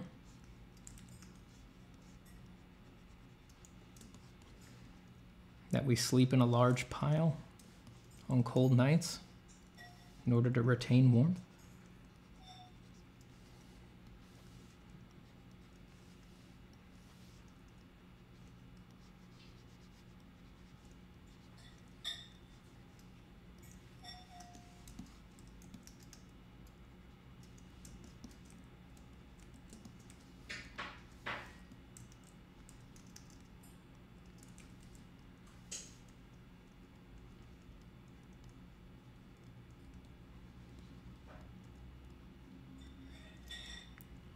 Can we see the lineup from the Goblin Works? Very appropriate. There's the lineup.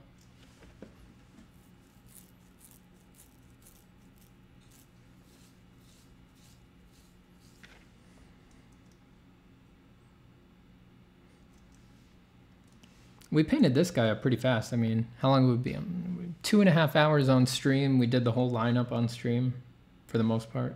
I think I already had the sketch for the guy on the left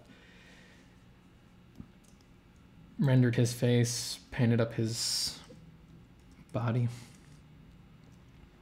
Not to the same level as the face, of course, but it's not really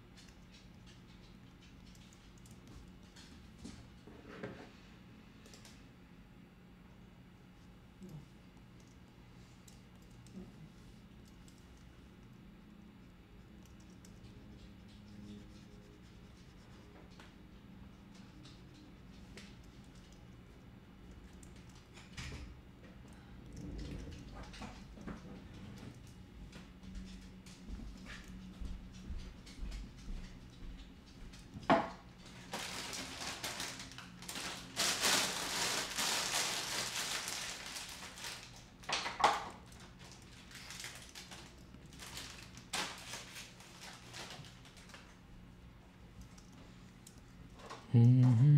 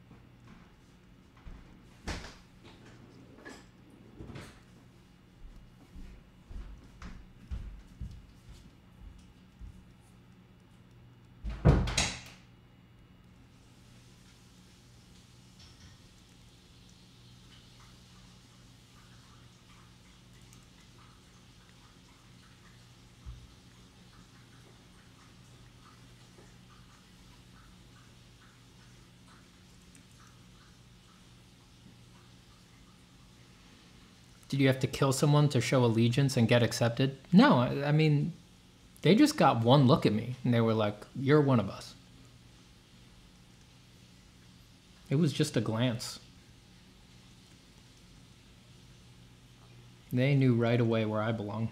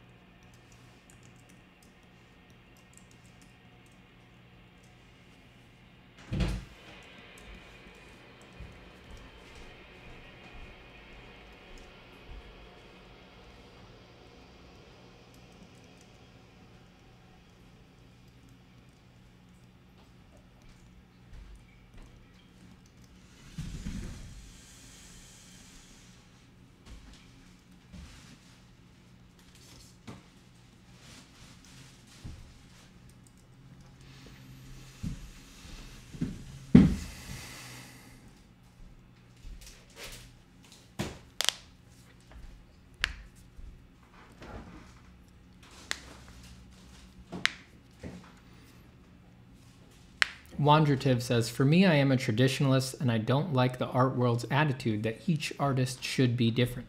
If it's Baroque and if someone is a genius in Baroque, then that is ideal. I don't like the art style dying with the artist and it being only a single person thing. Uh, I should continue and pass down to develop. Yeah, well, a lot of our history was like that. I mean, people were consciously working to schools and to styles and things like that. Um, if that's what you prefer, do it it's not gonna it's not gonna change the fact that others are free to uh, individuate and to be as unique as they would like to be but that's really the great thing about art. It's so vast and so grand that uh, there's room for both. You can be a traditionalist and work within a historical style or something else that you put together and try to pass that off and um, pass it on down the line and at the same time, other people can just go for the wildest, most out there thing that they can imagine.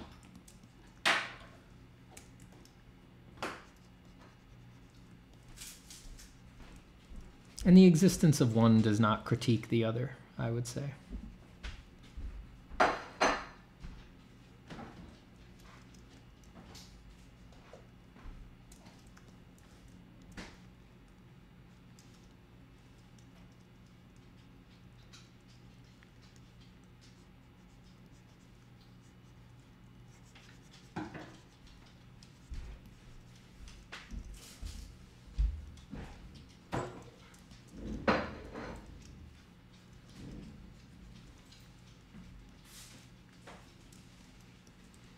Have you seen Paul Bonner's Gobos? Oh, yeah. Those are some legendary gobos.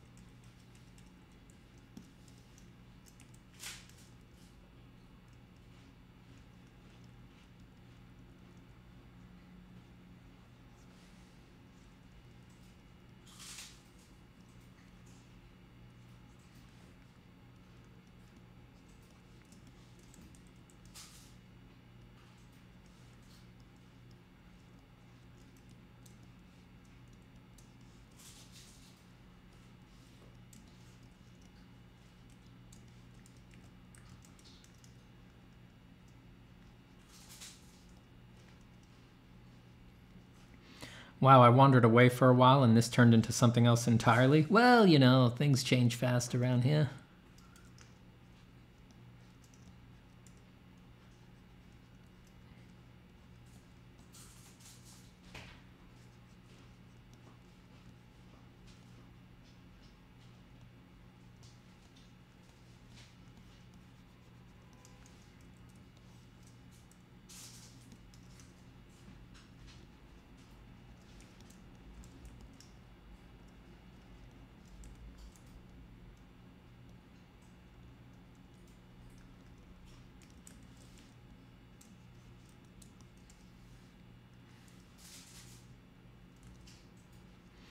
Mean that it's really fully rendered now. Well, you know.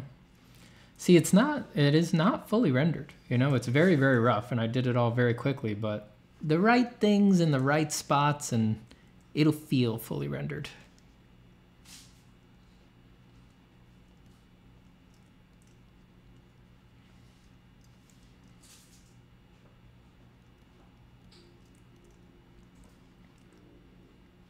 Just goes to show that um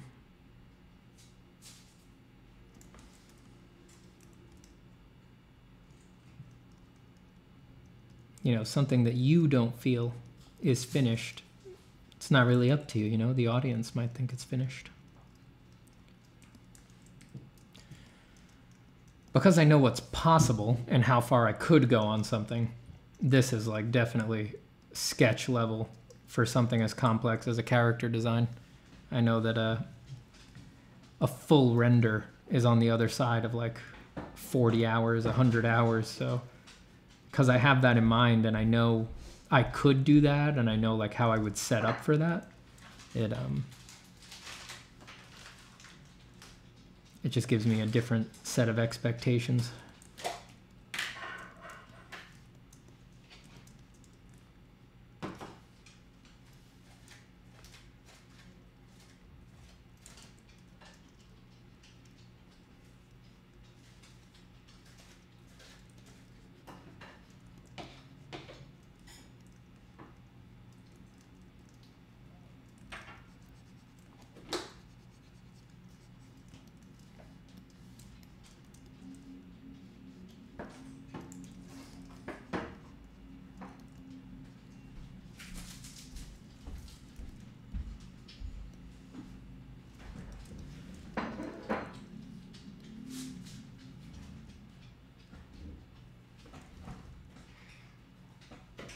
Deirdre, I'm going to Cookie City for lunch.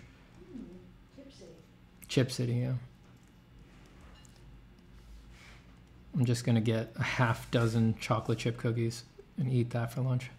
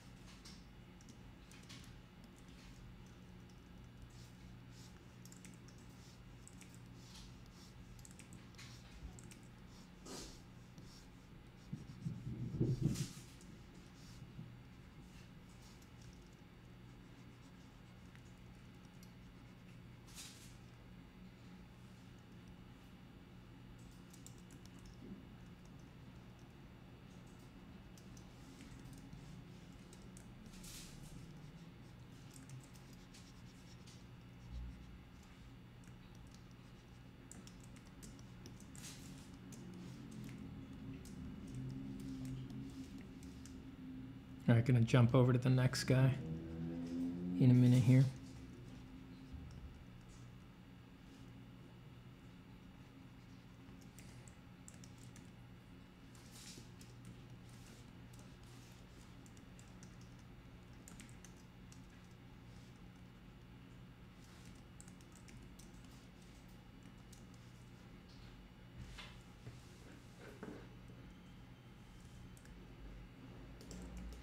All right, let's start laying him in.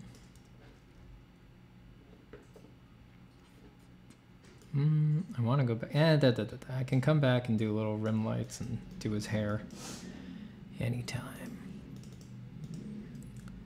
Let's make boyo number two. We'll make that green. Duplicate the lines so that we have them in case things go horribly wrong. Set that to multiplier, Down to Fernerster percenter. And then let's think about the palette here.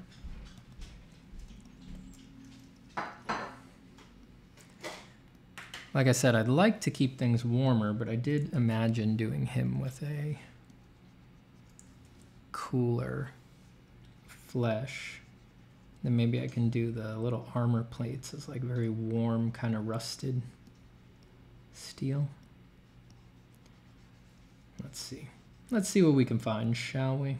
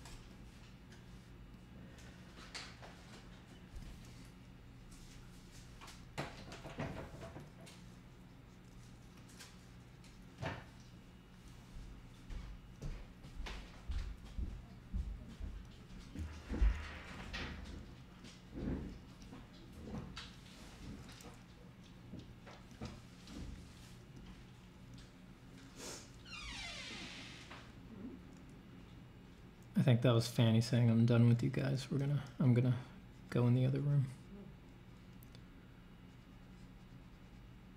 Now when there's something very important um, to the color arrangement, like the idea that I would rust parts of this sort of irony armor, um, you want to get it in even in the lay-in, even if they're small shapes that would be appearing because you want to be able to assess if it's actually going to work out.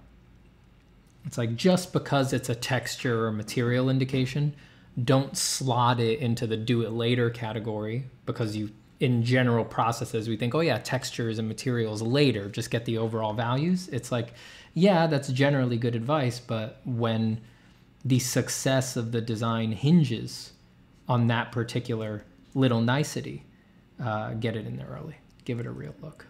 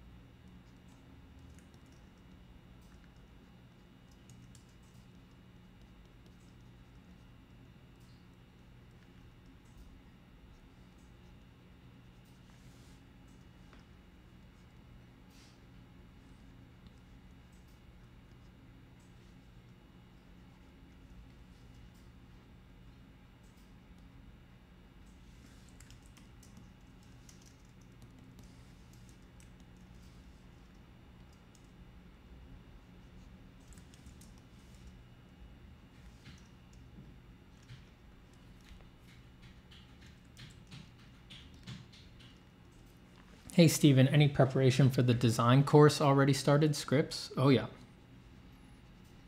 I spent months working on it last year.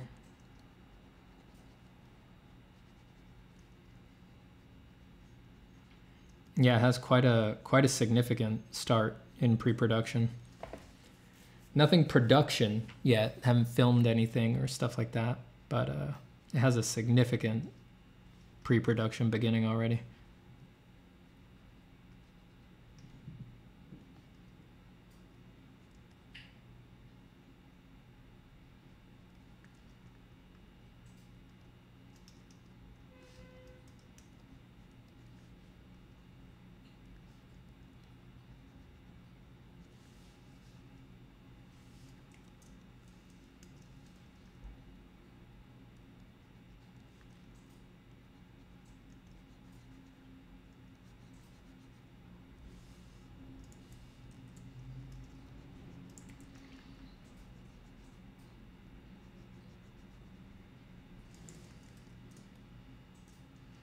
How did you get so good at digital? Oh man, just years and years of doing it. I've been using Photoshop since I was like 12, something like that.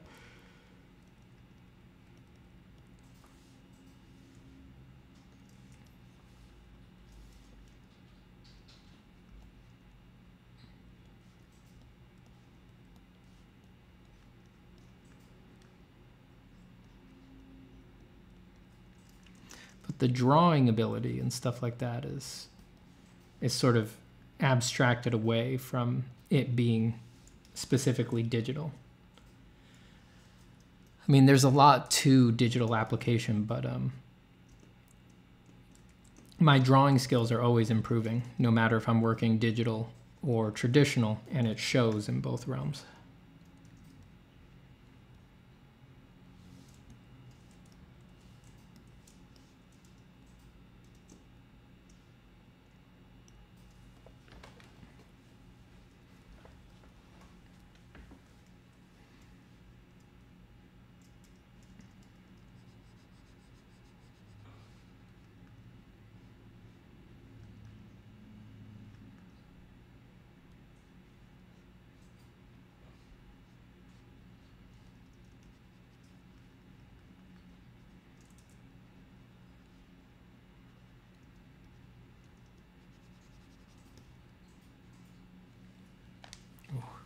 I gotta readjust this screen. My wrist is hurting.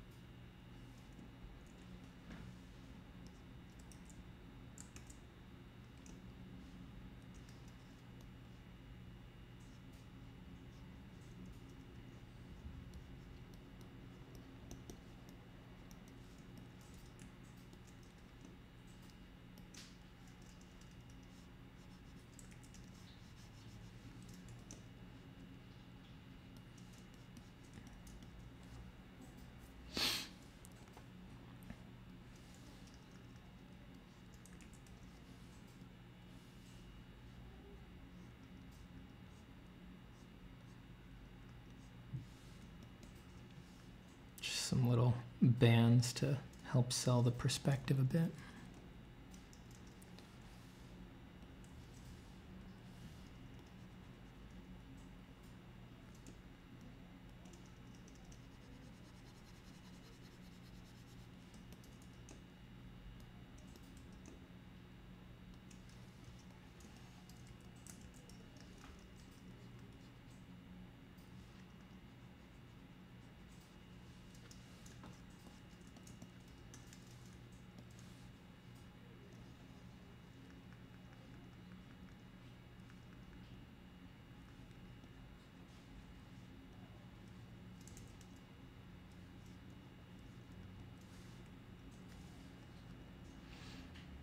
Steven, do you think there is anything of use in a paint like Steven Zapata tutorial for Gumroad? I'm not sure if it's really technique or just design, but I do appreciate the way you paint.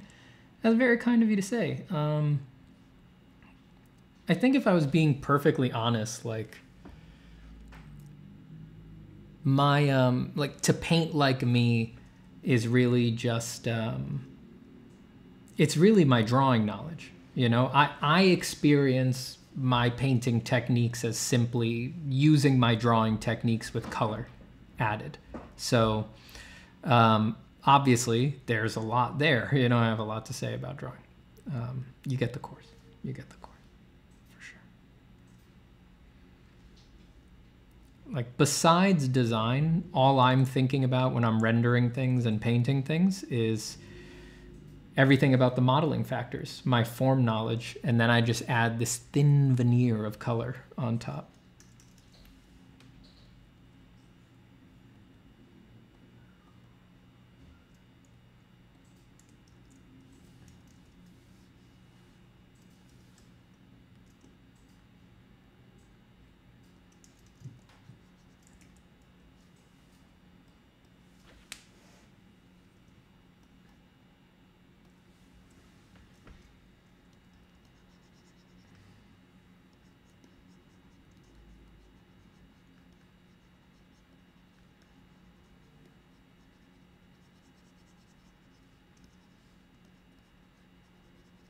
I gotta take a restroom break in a minute here. Just let me get these pants in. They need to be very neutral, but I don't want them to compete with that warm knee pad there.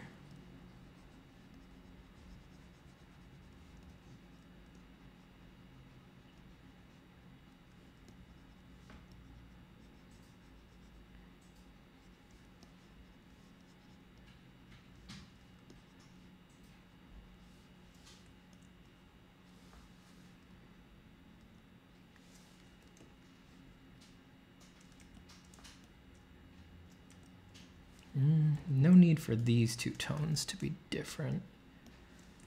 Let's use that same tone that's being used for the cross strap. Let's use that same one for this pelt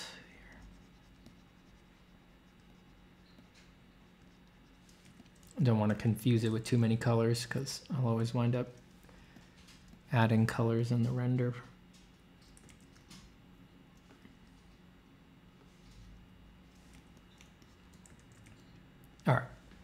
I'll be right back.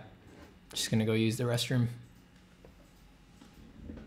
Hello everyone, my name is Steven Zapata. I'm a concept artist, illustrator, online art teacher, and former instructor at Art Center College of Design. I would like to introduce you to my new drawing course, Form from Imagination, a course designed to help you draw with confidence from your mind. Maybe you want to be a professional illustrator or designer, maybe you want to be a master with a pencil, or maybe you just want to be the best artist that you can be. Beautiful goals, but it's not always clear how to improve the work that you do from imagination. Over the past six months, I've taken all of the little eurekas, tips, and essential exercises that gave me confidence drawing from my mind and compiled them into a sequential course. We start with the absolute foundations, covering the scientific nature of light and shadow, how to hatch, how to create flat tones, how to render spheres and cubes, and step by step, we move through combined shapes, complex shapes, organic shapes. We cover how to simplify extremely complex subjects like the head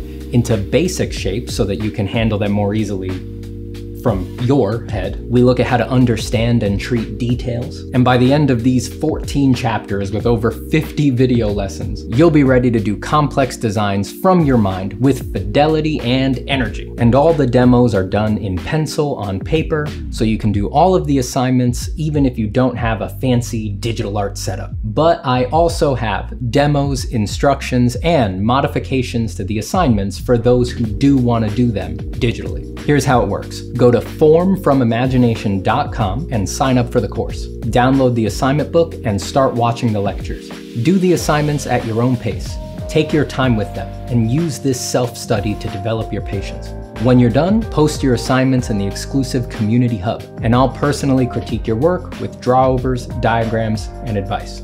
I want you to know, this course is no joke just because it's online. It is challenging content, and it is more complete than it would be if I was teaching this class at an art college as I have before. If I was teaching this class in person at Art Center today, I would just play these videos in class, knowing full well that they're the most concise, focused, edited, step-by-step way to convey the material. So I'm serious when I say, this course isn't just a substitute for a college level course, it's better than a college level course. And you don't have to pay thousands of dollars per credit and wind up hundreds of thousands of dollars in debt. So thank you for checking out the course, thank you for watching this and for your support, and thank you for drawing and making your artwork. The world needs it. I'll see you soon.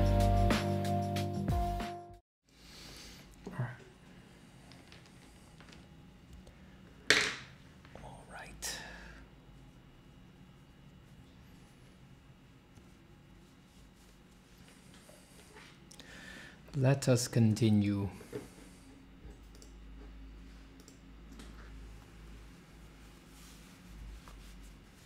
Damn, I really wish that Proko vid had come out today. Bummed.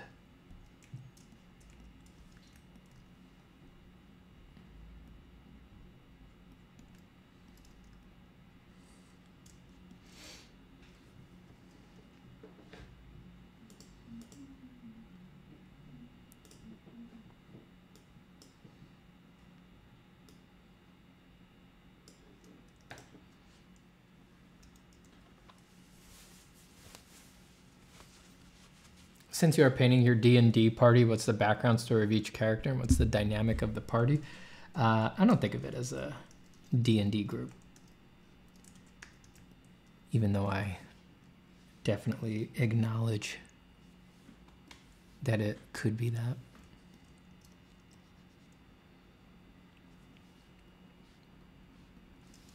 I'm gonna make his nose pink because why not?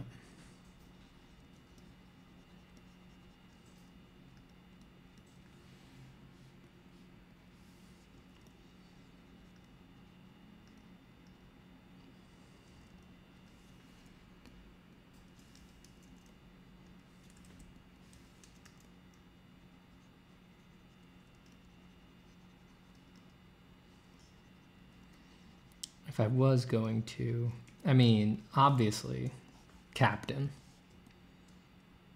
Obviously, captain. Jester.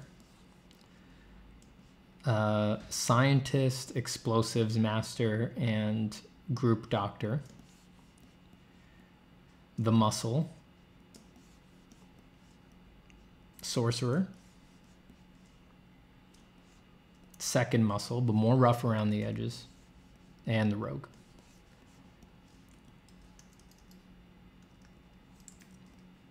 I guess really, I guess he'd be a ranger, sort of an all-arounder.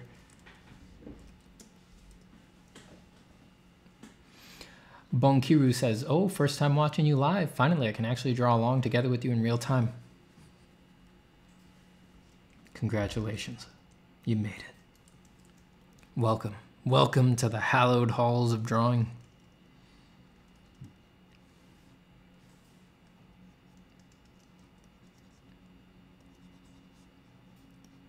Gonna look for a general value and color breakup for the face.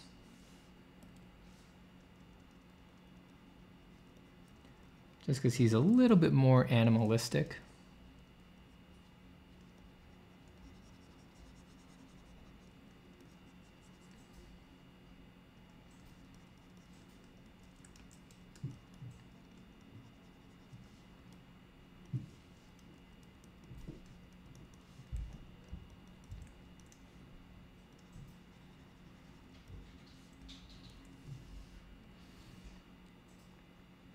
Want to get some some sort of animalistic pattern to the coloring.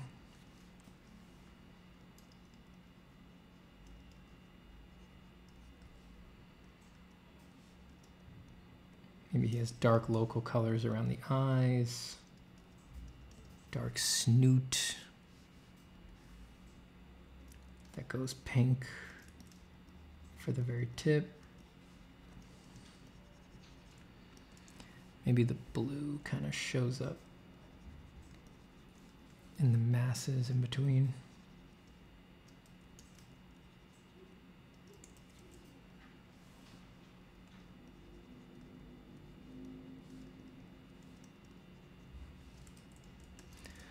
Do you have an active lighting reference for these characters? I do not. I'm just winging it. Oh, You okay over there? this guy across the way got a new coffee maker. And he's treating it very delicately. Oh my god, leave him be. Let him enjoy his new coffee maker. His girlfriend's hugging him. What the fuck? Is she hugging him because he has the coffee maker? Well, he just rubbed down the coffee maker and now he's getting a hug from his He got a- baby. He got a hug for cleaning it? Oh my god, she loves that shit, dude. She's like, wow, the way you wipe it down. He probably like made it shoot the steam out of the nozzle and like with I the towel he I, rubbed I it. think he might have even gotten a new table to hold the coffee maker. They're still locked in an embrace. We gotta stop looking at them because this is hot. This is really hot. There's so much going on right now. they're rocking back and forth. They love their coffee maker. It's brought them closer together.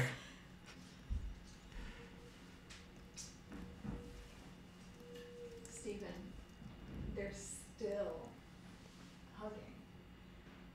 I've never seen two people more in love with their coffee machine.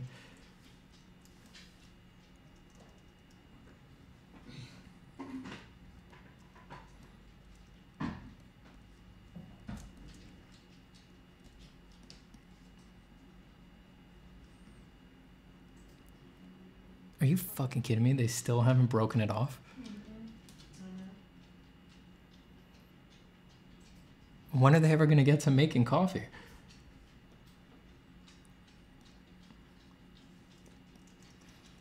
I'll tell you when they separate. Yeah, keep an eye on them. She's readjusting her, her grip. okay, we're back to the coffee machine now. We press start.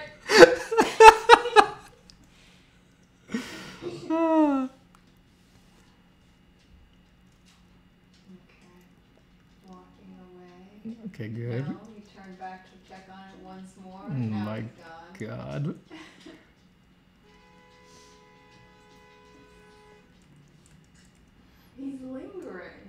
Why is he lingering so much?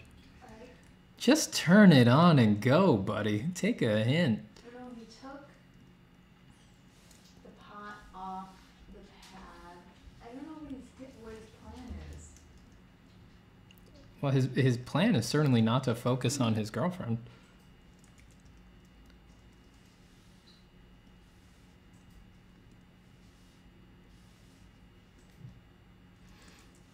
Oh man, what fun! Oh fuck me. Any tips on how to maintain the light direction consistently for a beginner painter? The this may sound like a cop out, but I really mean it. It's all in the sphere. If you truly understand the sphere on a deep level, you'll be able to keep your lighting consistent. And that's that's way harder than most people think.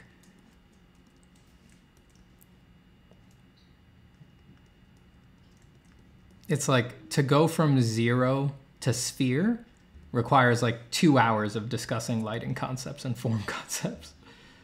A sphere is deceptively, um, deceptively deep, and it's harder than you think to render a good one.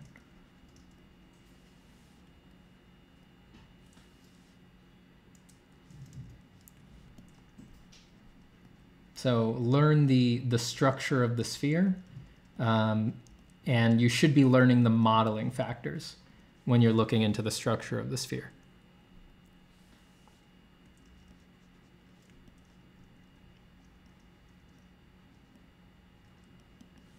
There's 12 ish of them. If you've never covered those concepts before, if you've never researched them, you definitely want to start there.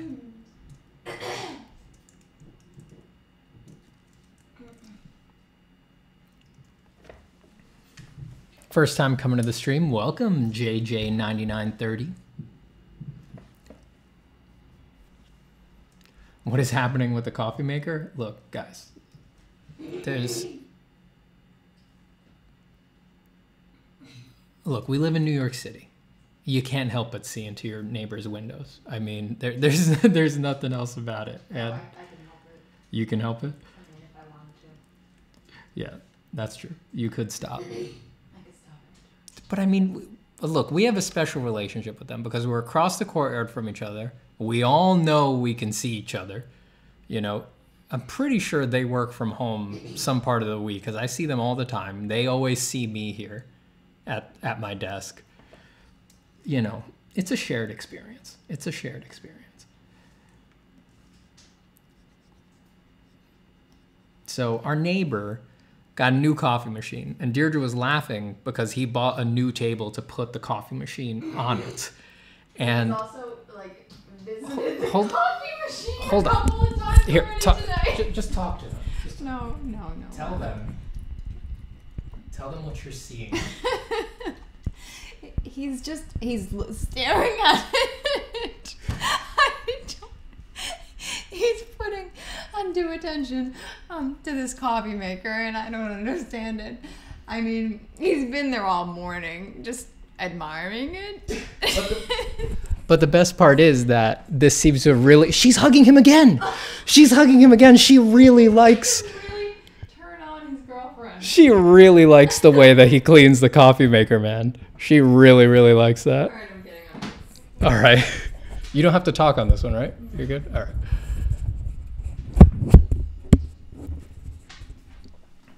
Still locked in an embrace.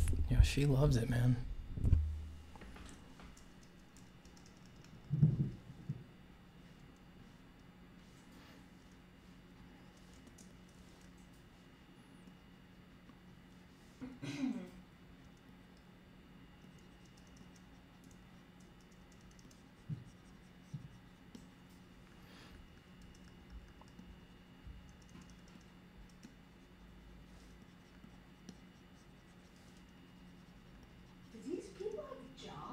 Focus on your phone call.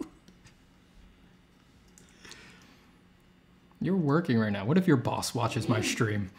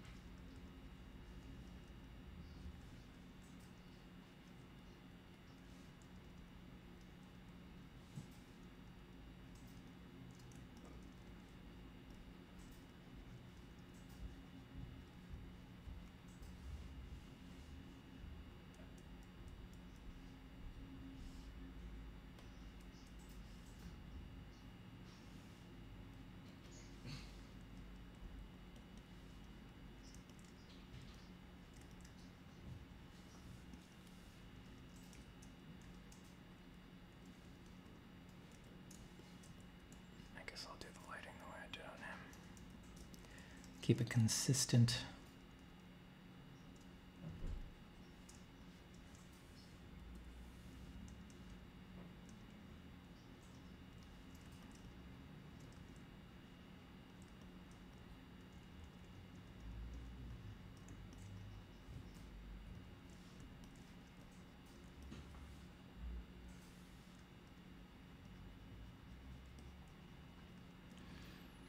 Is it even a fancy coffee maker? Uh, it's a little hard to see the details here, but it's definitely some nice stainless steel, kind of a big thing.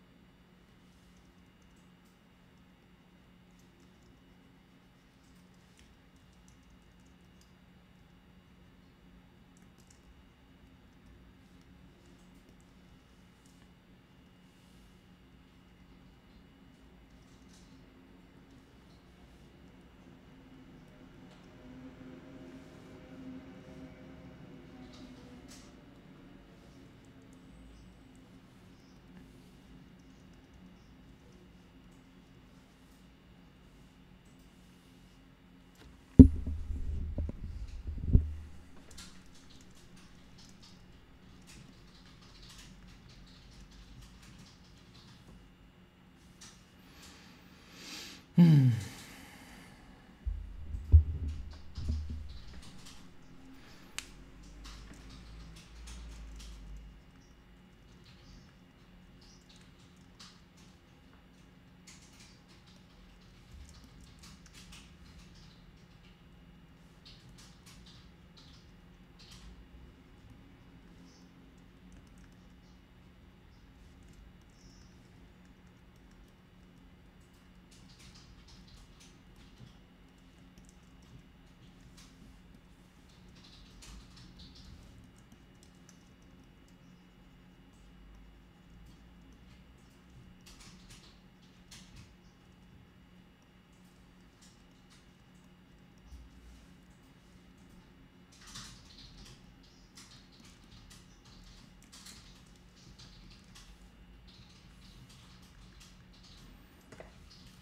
No, I'm not gonna go buy binoculars.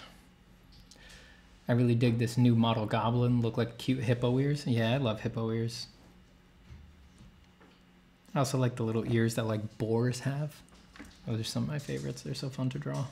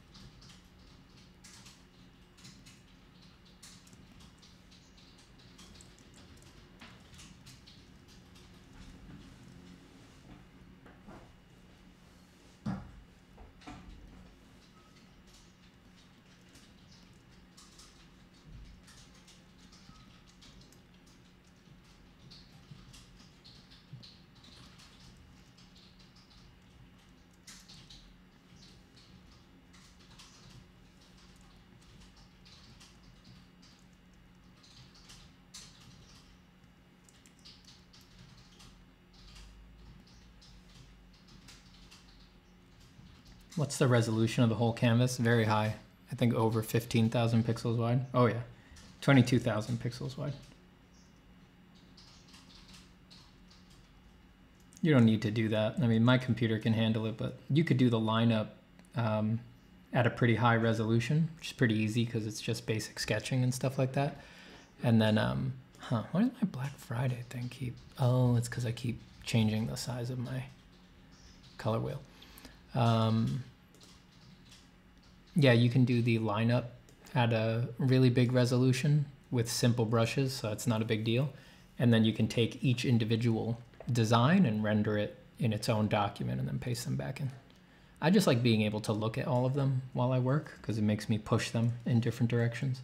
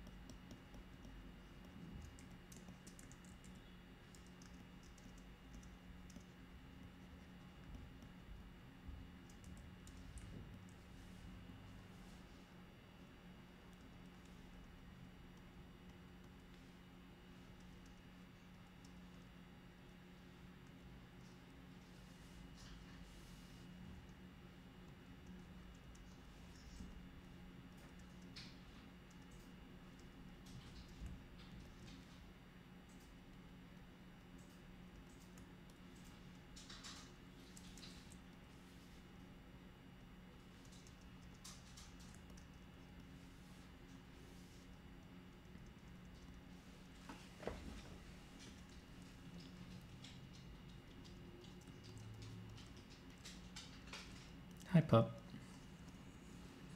How you doing? Who's your coco? Who's your coco? How you doing, Stinky? Who's your coco? Who's your coco? Yeah, yeah, you're a dog. Yeah, it's true. I got to look at her nose for reference there for a second.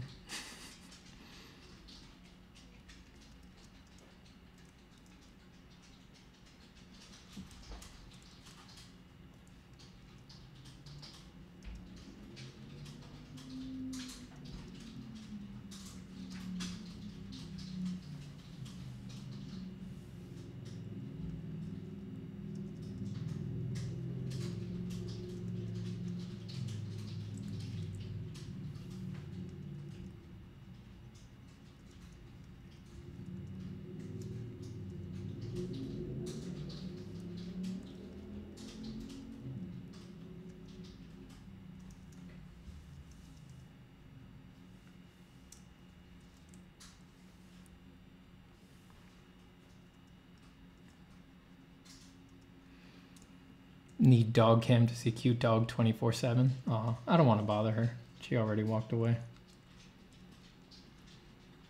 You know, she loves me because I leave her alone most of the time.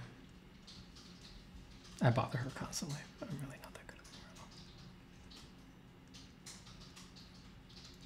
If she comes over again, I'll grab her up.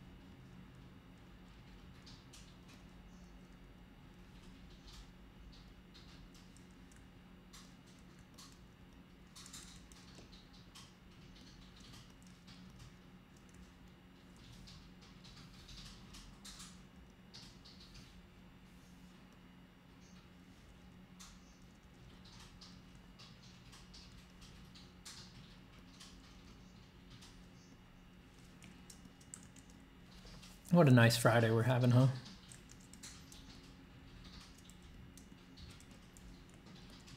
This is so fun. I know I say that all the time, and you guys probably think I'm a simpleton, but it's just being in the zone and jamming just never gets never gets old.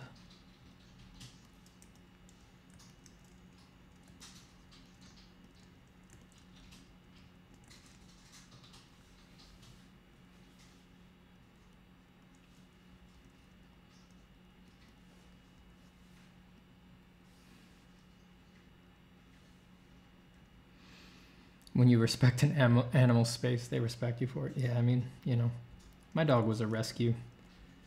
She had a lot of uh, anxiety problems and all that when we got her, so.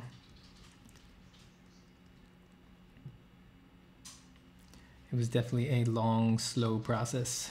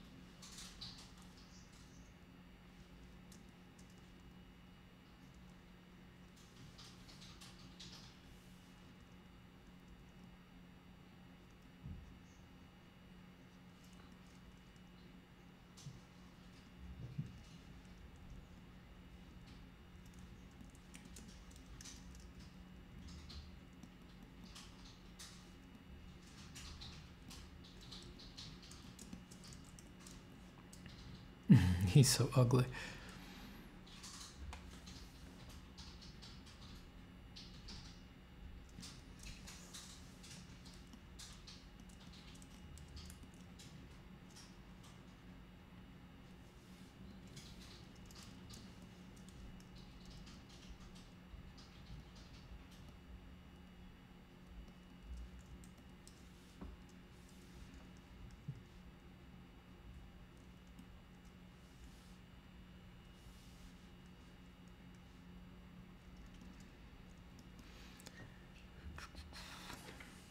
What resolution should I draw on if I want to do landscapes? There's no required resolution unless you're on a job or something like that.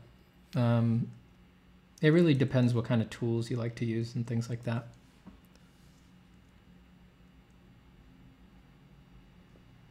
It's like I can use really huge brushes because uh, I really just like using the hard round for most things, and the hard round brush is extremely fast. But um, if you like using a lot of custom brushes and things like that, those generally slow your computer down. So you'll want to work at smaller resolutions if you use those a lot.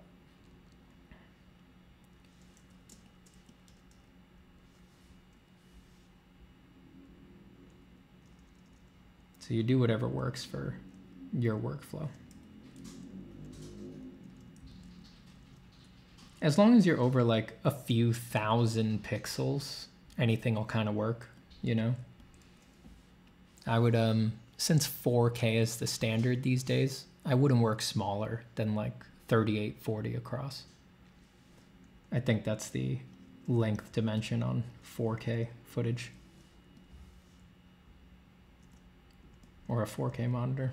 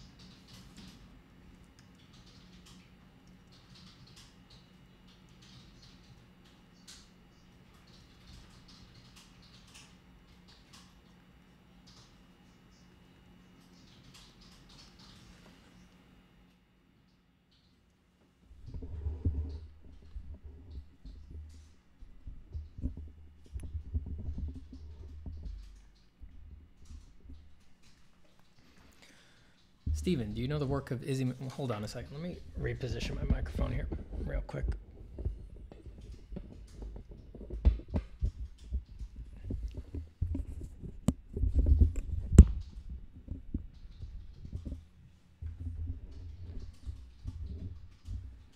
Steven, do you know the work of. whoa, Steven? Yeah, that's me. And I lost my pen. Where did I put my pen? Steven, do you know the work of Izzy Medrano? His monstrosities are equally monstrous to yours, albeit with another sensibility. Sounds familiar. I'm sure I know his work. I never remember people's names, but I remember their work.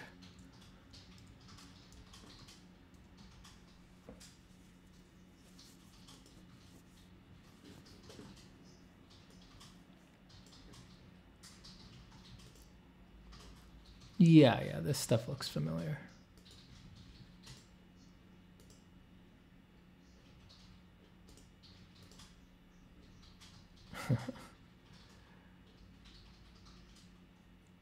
Yeah, I've seen his work before. Very good, very good.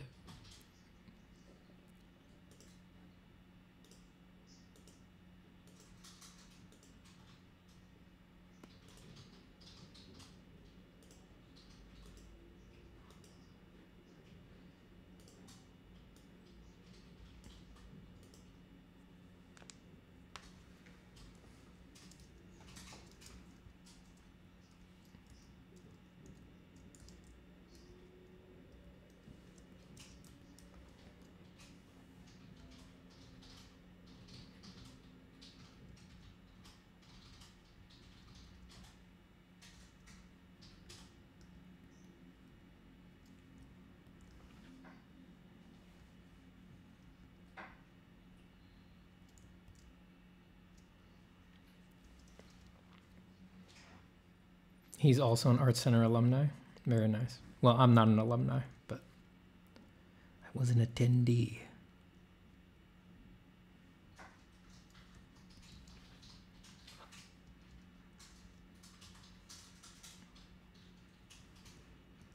Don't want to don't want to steal any valor from the actual Art Center alums.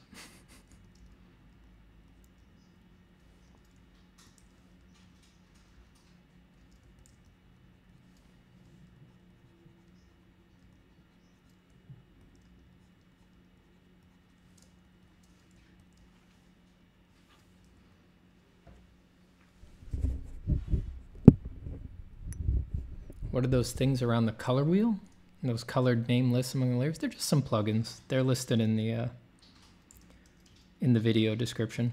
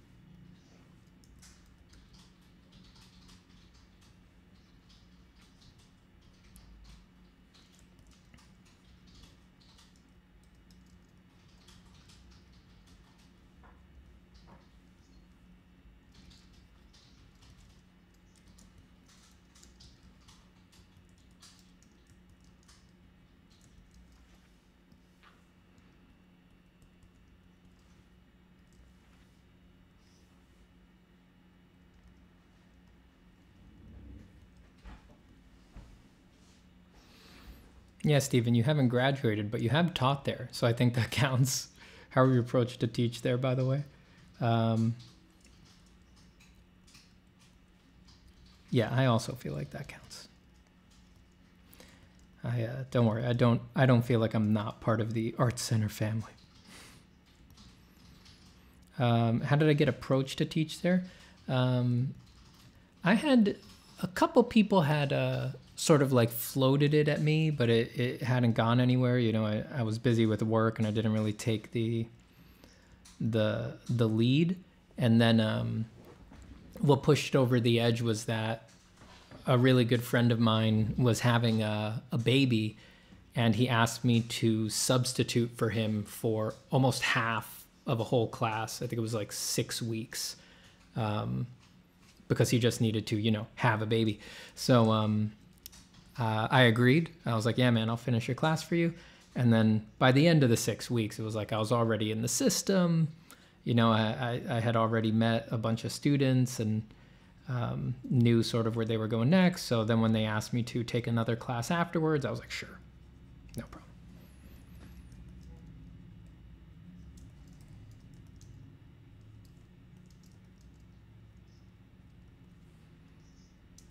It was just like it was much easier to just agree to keep going once I had already sort of um, gone through the hiring the hiring process and done the paperwork and all that to help my friend out.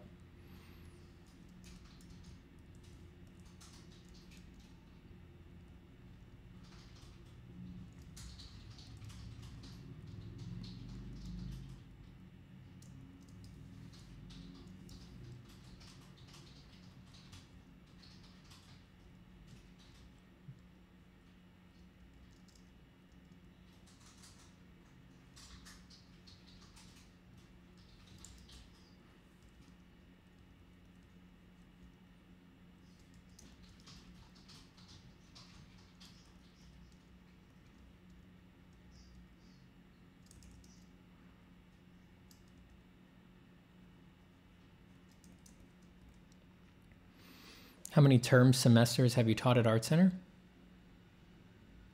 I think it was a couple years.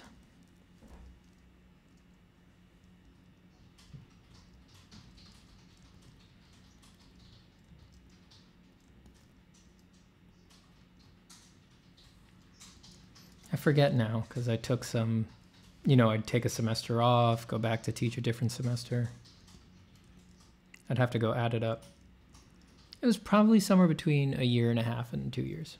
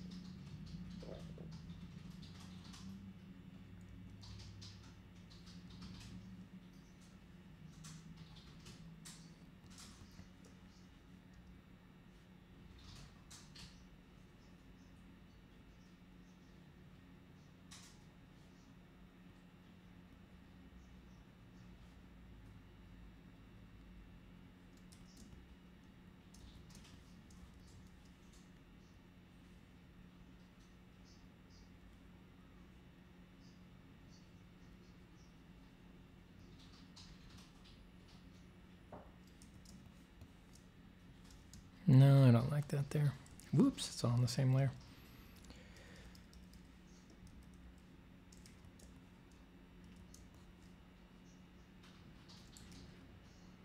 Let's just leave it up there in the top right. I think that'll work out nicer for us.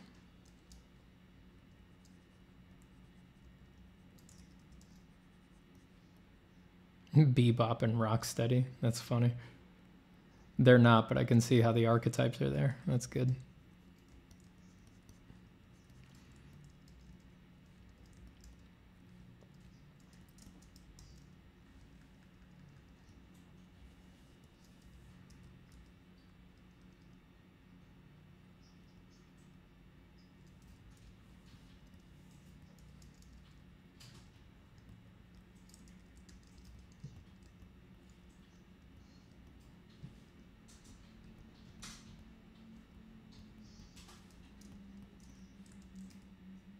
Just want to feel like there's little cast shadows coming off of these spikes from the secondary light, and then those will fuse into the main light.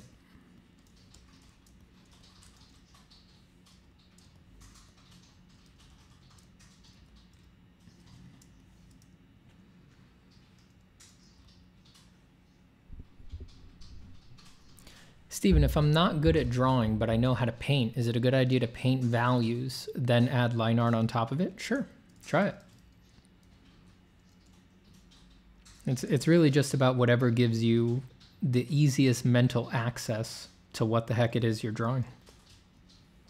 If values are the way you think, which is totally valid, um, just lean into that.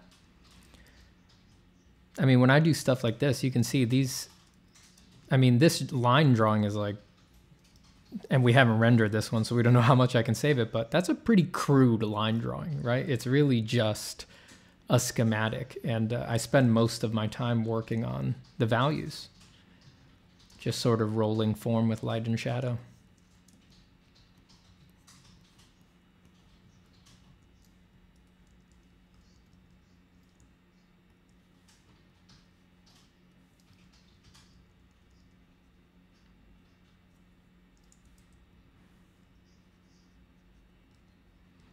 I want to reclaim a bit of the local values I had designed. I lost like the the dark snoot I had designed. How big were the classes you taught? I had a class of like 10 people and it was nerve wracking already. Uh, some of them were 10 ish. Um, most of them were 10. I had a couple that were significantly more than that, if I remember correctly. Like uh, some of the broader classes that like everyone had to go through, like base production design. I think when I taught production design, I think that was coming up on 20 people. But fortunately, that one we had two teachers, so we got to split the workload. We co taught it. That was so fun.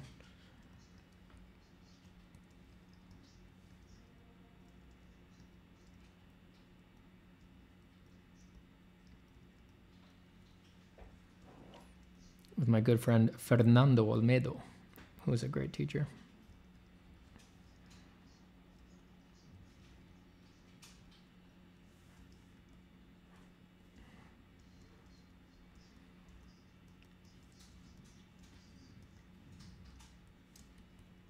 Just getting some of the dark fur patterns in that I wanted in there.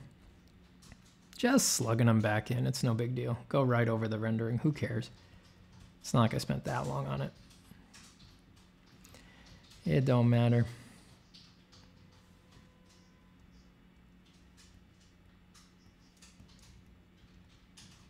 It's always worth it to beat up your rendering if uh, it gives you a cool design element.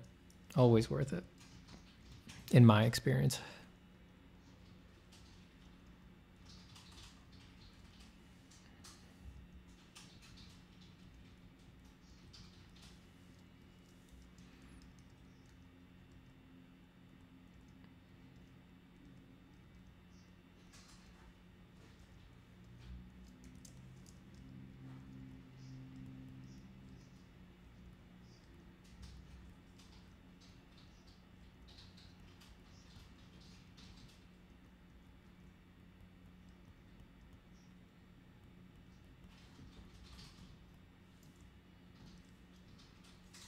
Whiskers?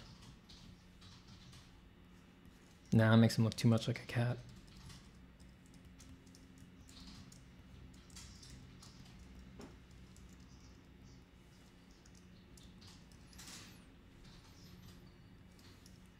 Hey Amber, what's up? Amber says, Have you seen the new God of War game? Looks pretty nice. I'm playing it. I've only got a few hours in it, but I picked it up and I'm checking it out.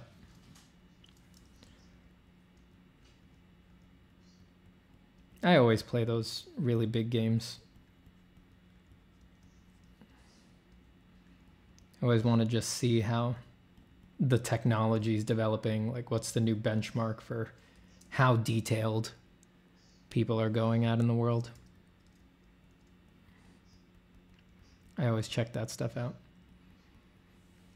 And I'm pretty willing to play a game for a long time if it just looks nice.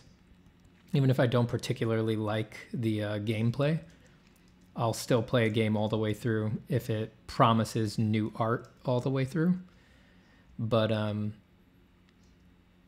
if a game that I don't really like the gameplay hits a point in the game where it stops promising new art, like let's say, um, all right, all that's left is the final boss, but you got to backtrack through like all of the old areas and collect this final item to go face the boss, I'll stop. I'll quit immediately. As soon as it reveals to me that it's not going to give me new art, I'll stop. Unless the gameplay is actually good.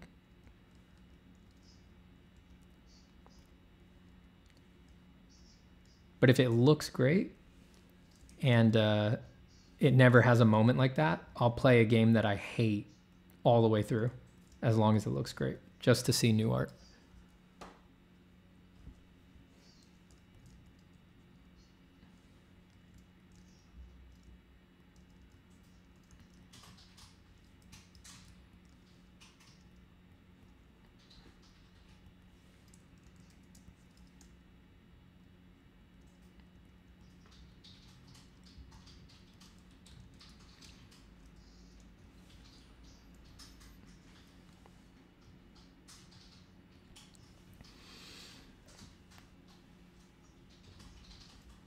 You like the design of the God of War characters? Yeah, I think that they have a real nice uh, design sense over there for characters.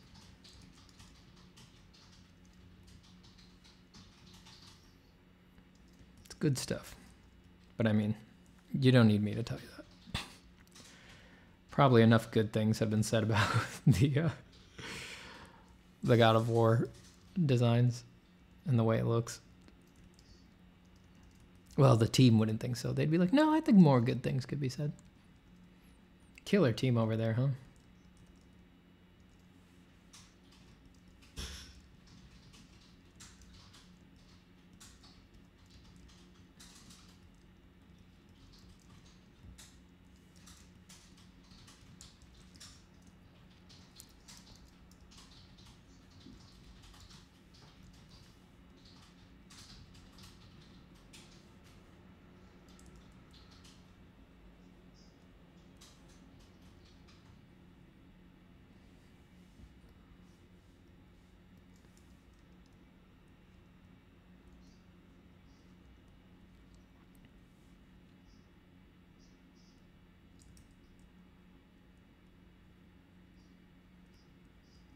What I really want is a PS5 so I could play some games at higher frame rates, but you just can't get them.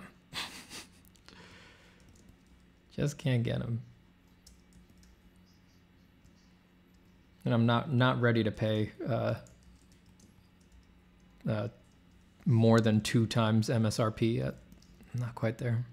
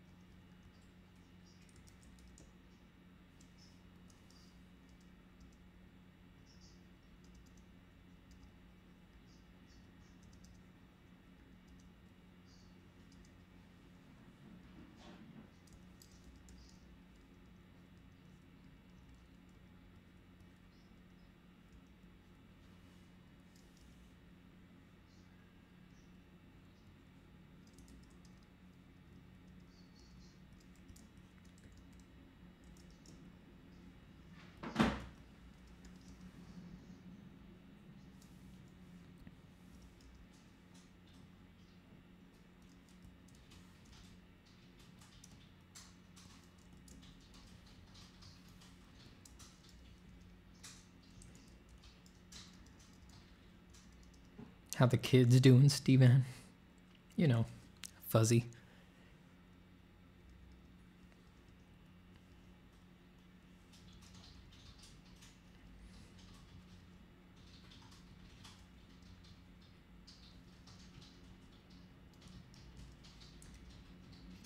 Let me do these speculars pretending there's fur here. So that they sort of imply some short hairs in these areas.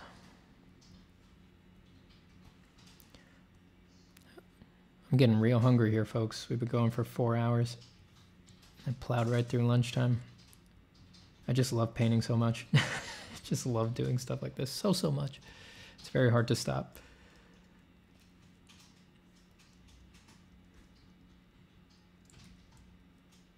Just a bit more. Let me just work on this face a bit more while I'm in the momentum for it. But I am going to have to go soon and put some food in me.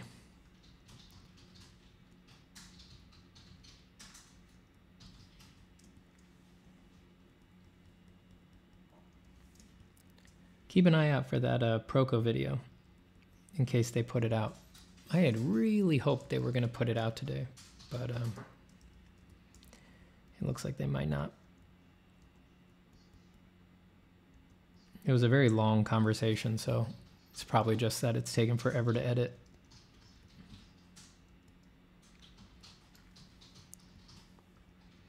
It's a good one, though.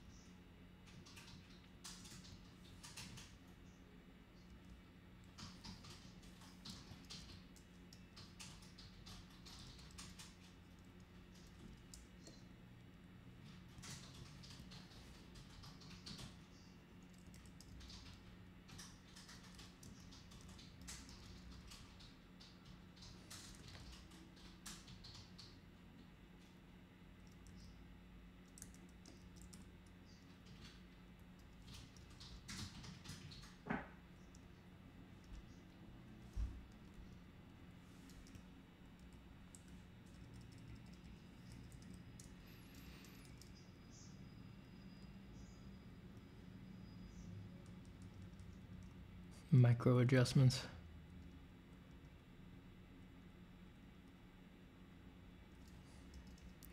Subtle, subtle stuff. Always zooming out to check if it reads small. That's what I'm doing when I do stuff like that. Just trying to unify big light shapes so that they have some hope of communicating in the whole lineup.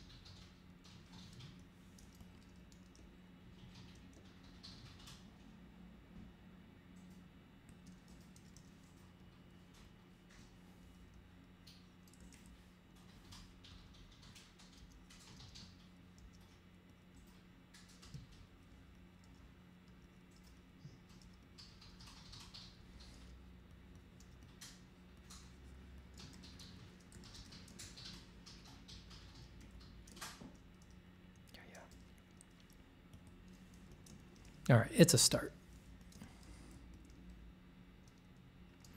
Definitely a start.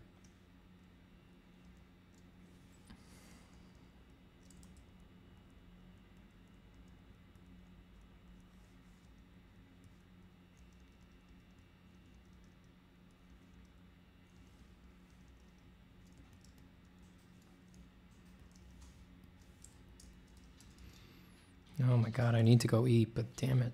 Drawing is. It's frustrating how fun it is. God.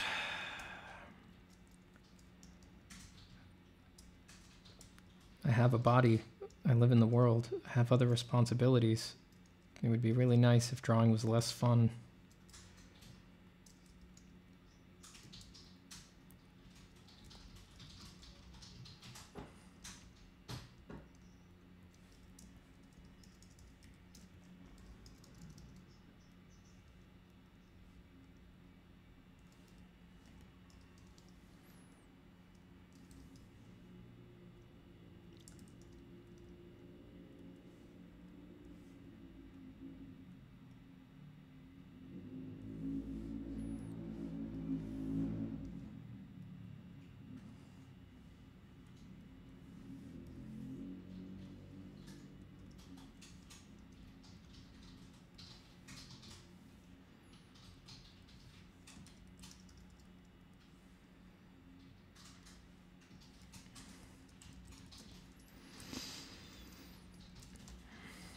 I'm not gonna. I'm gonna end it there. I'm not gonna start like rendering the muscles or anything because I know that I'll be in big trouble if I start doing that. I wouldn't start putting shadow shapes like on the triceps and modeling the interactions between the bottom of the deltoid with the upper arm and the way that it transitions into the brachialis muscle and sort of pushes the bicep out and forward. I definitely wouldn't try to make it look like the tricep is twisting to imply its mass as it transitions past the elbow and its little tendon inserts deep on the form. I wouldn't do that because then I know I would get stuck.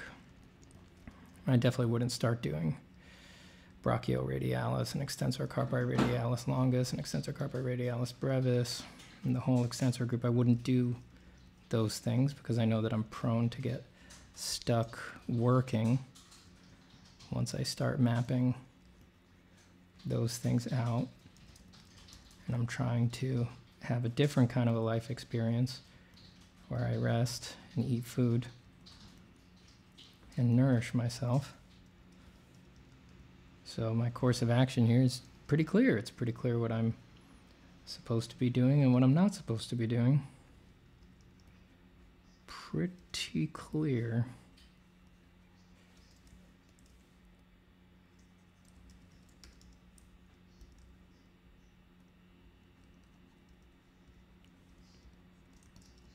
Pretty damn clear.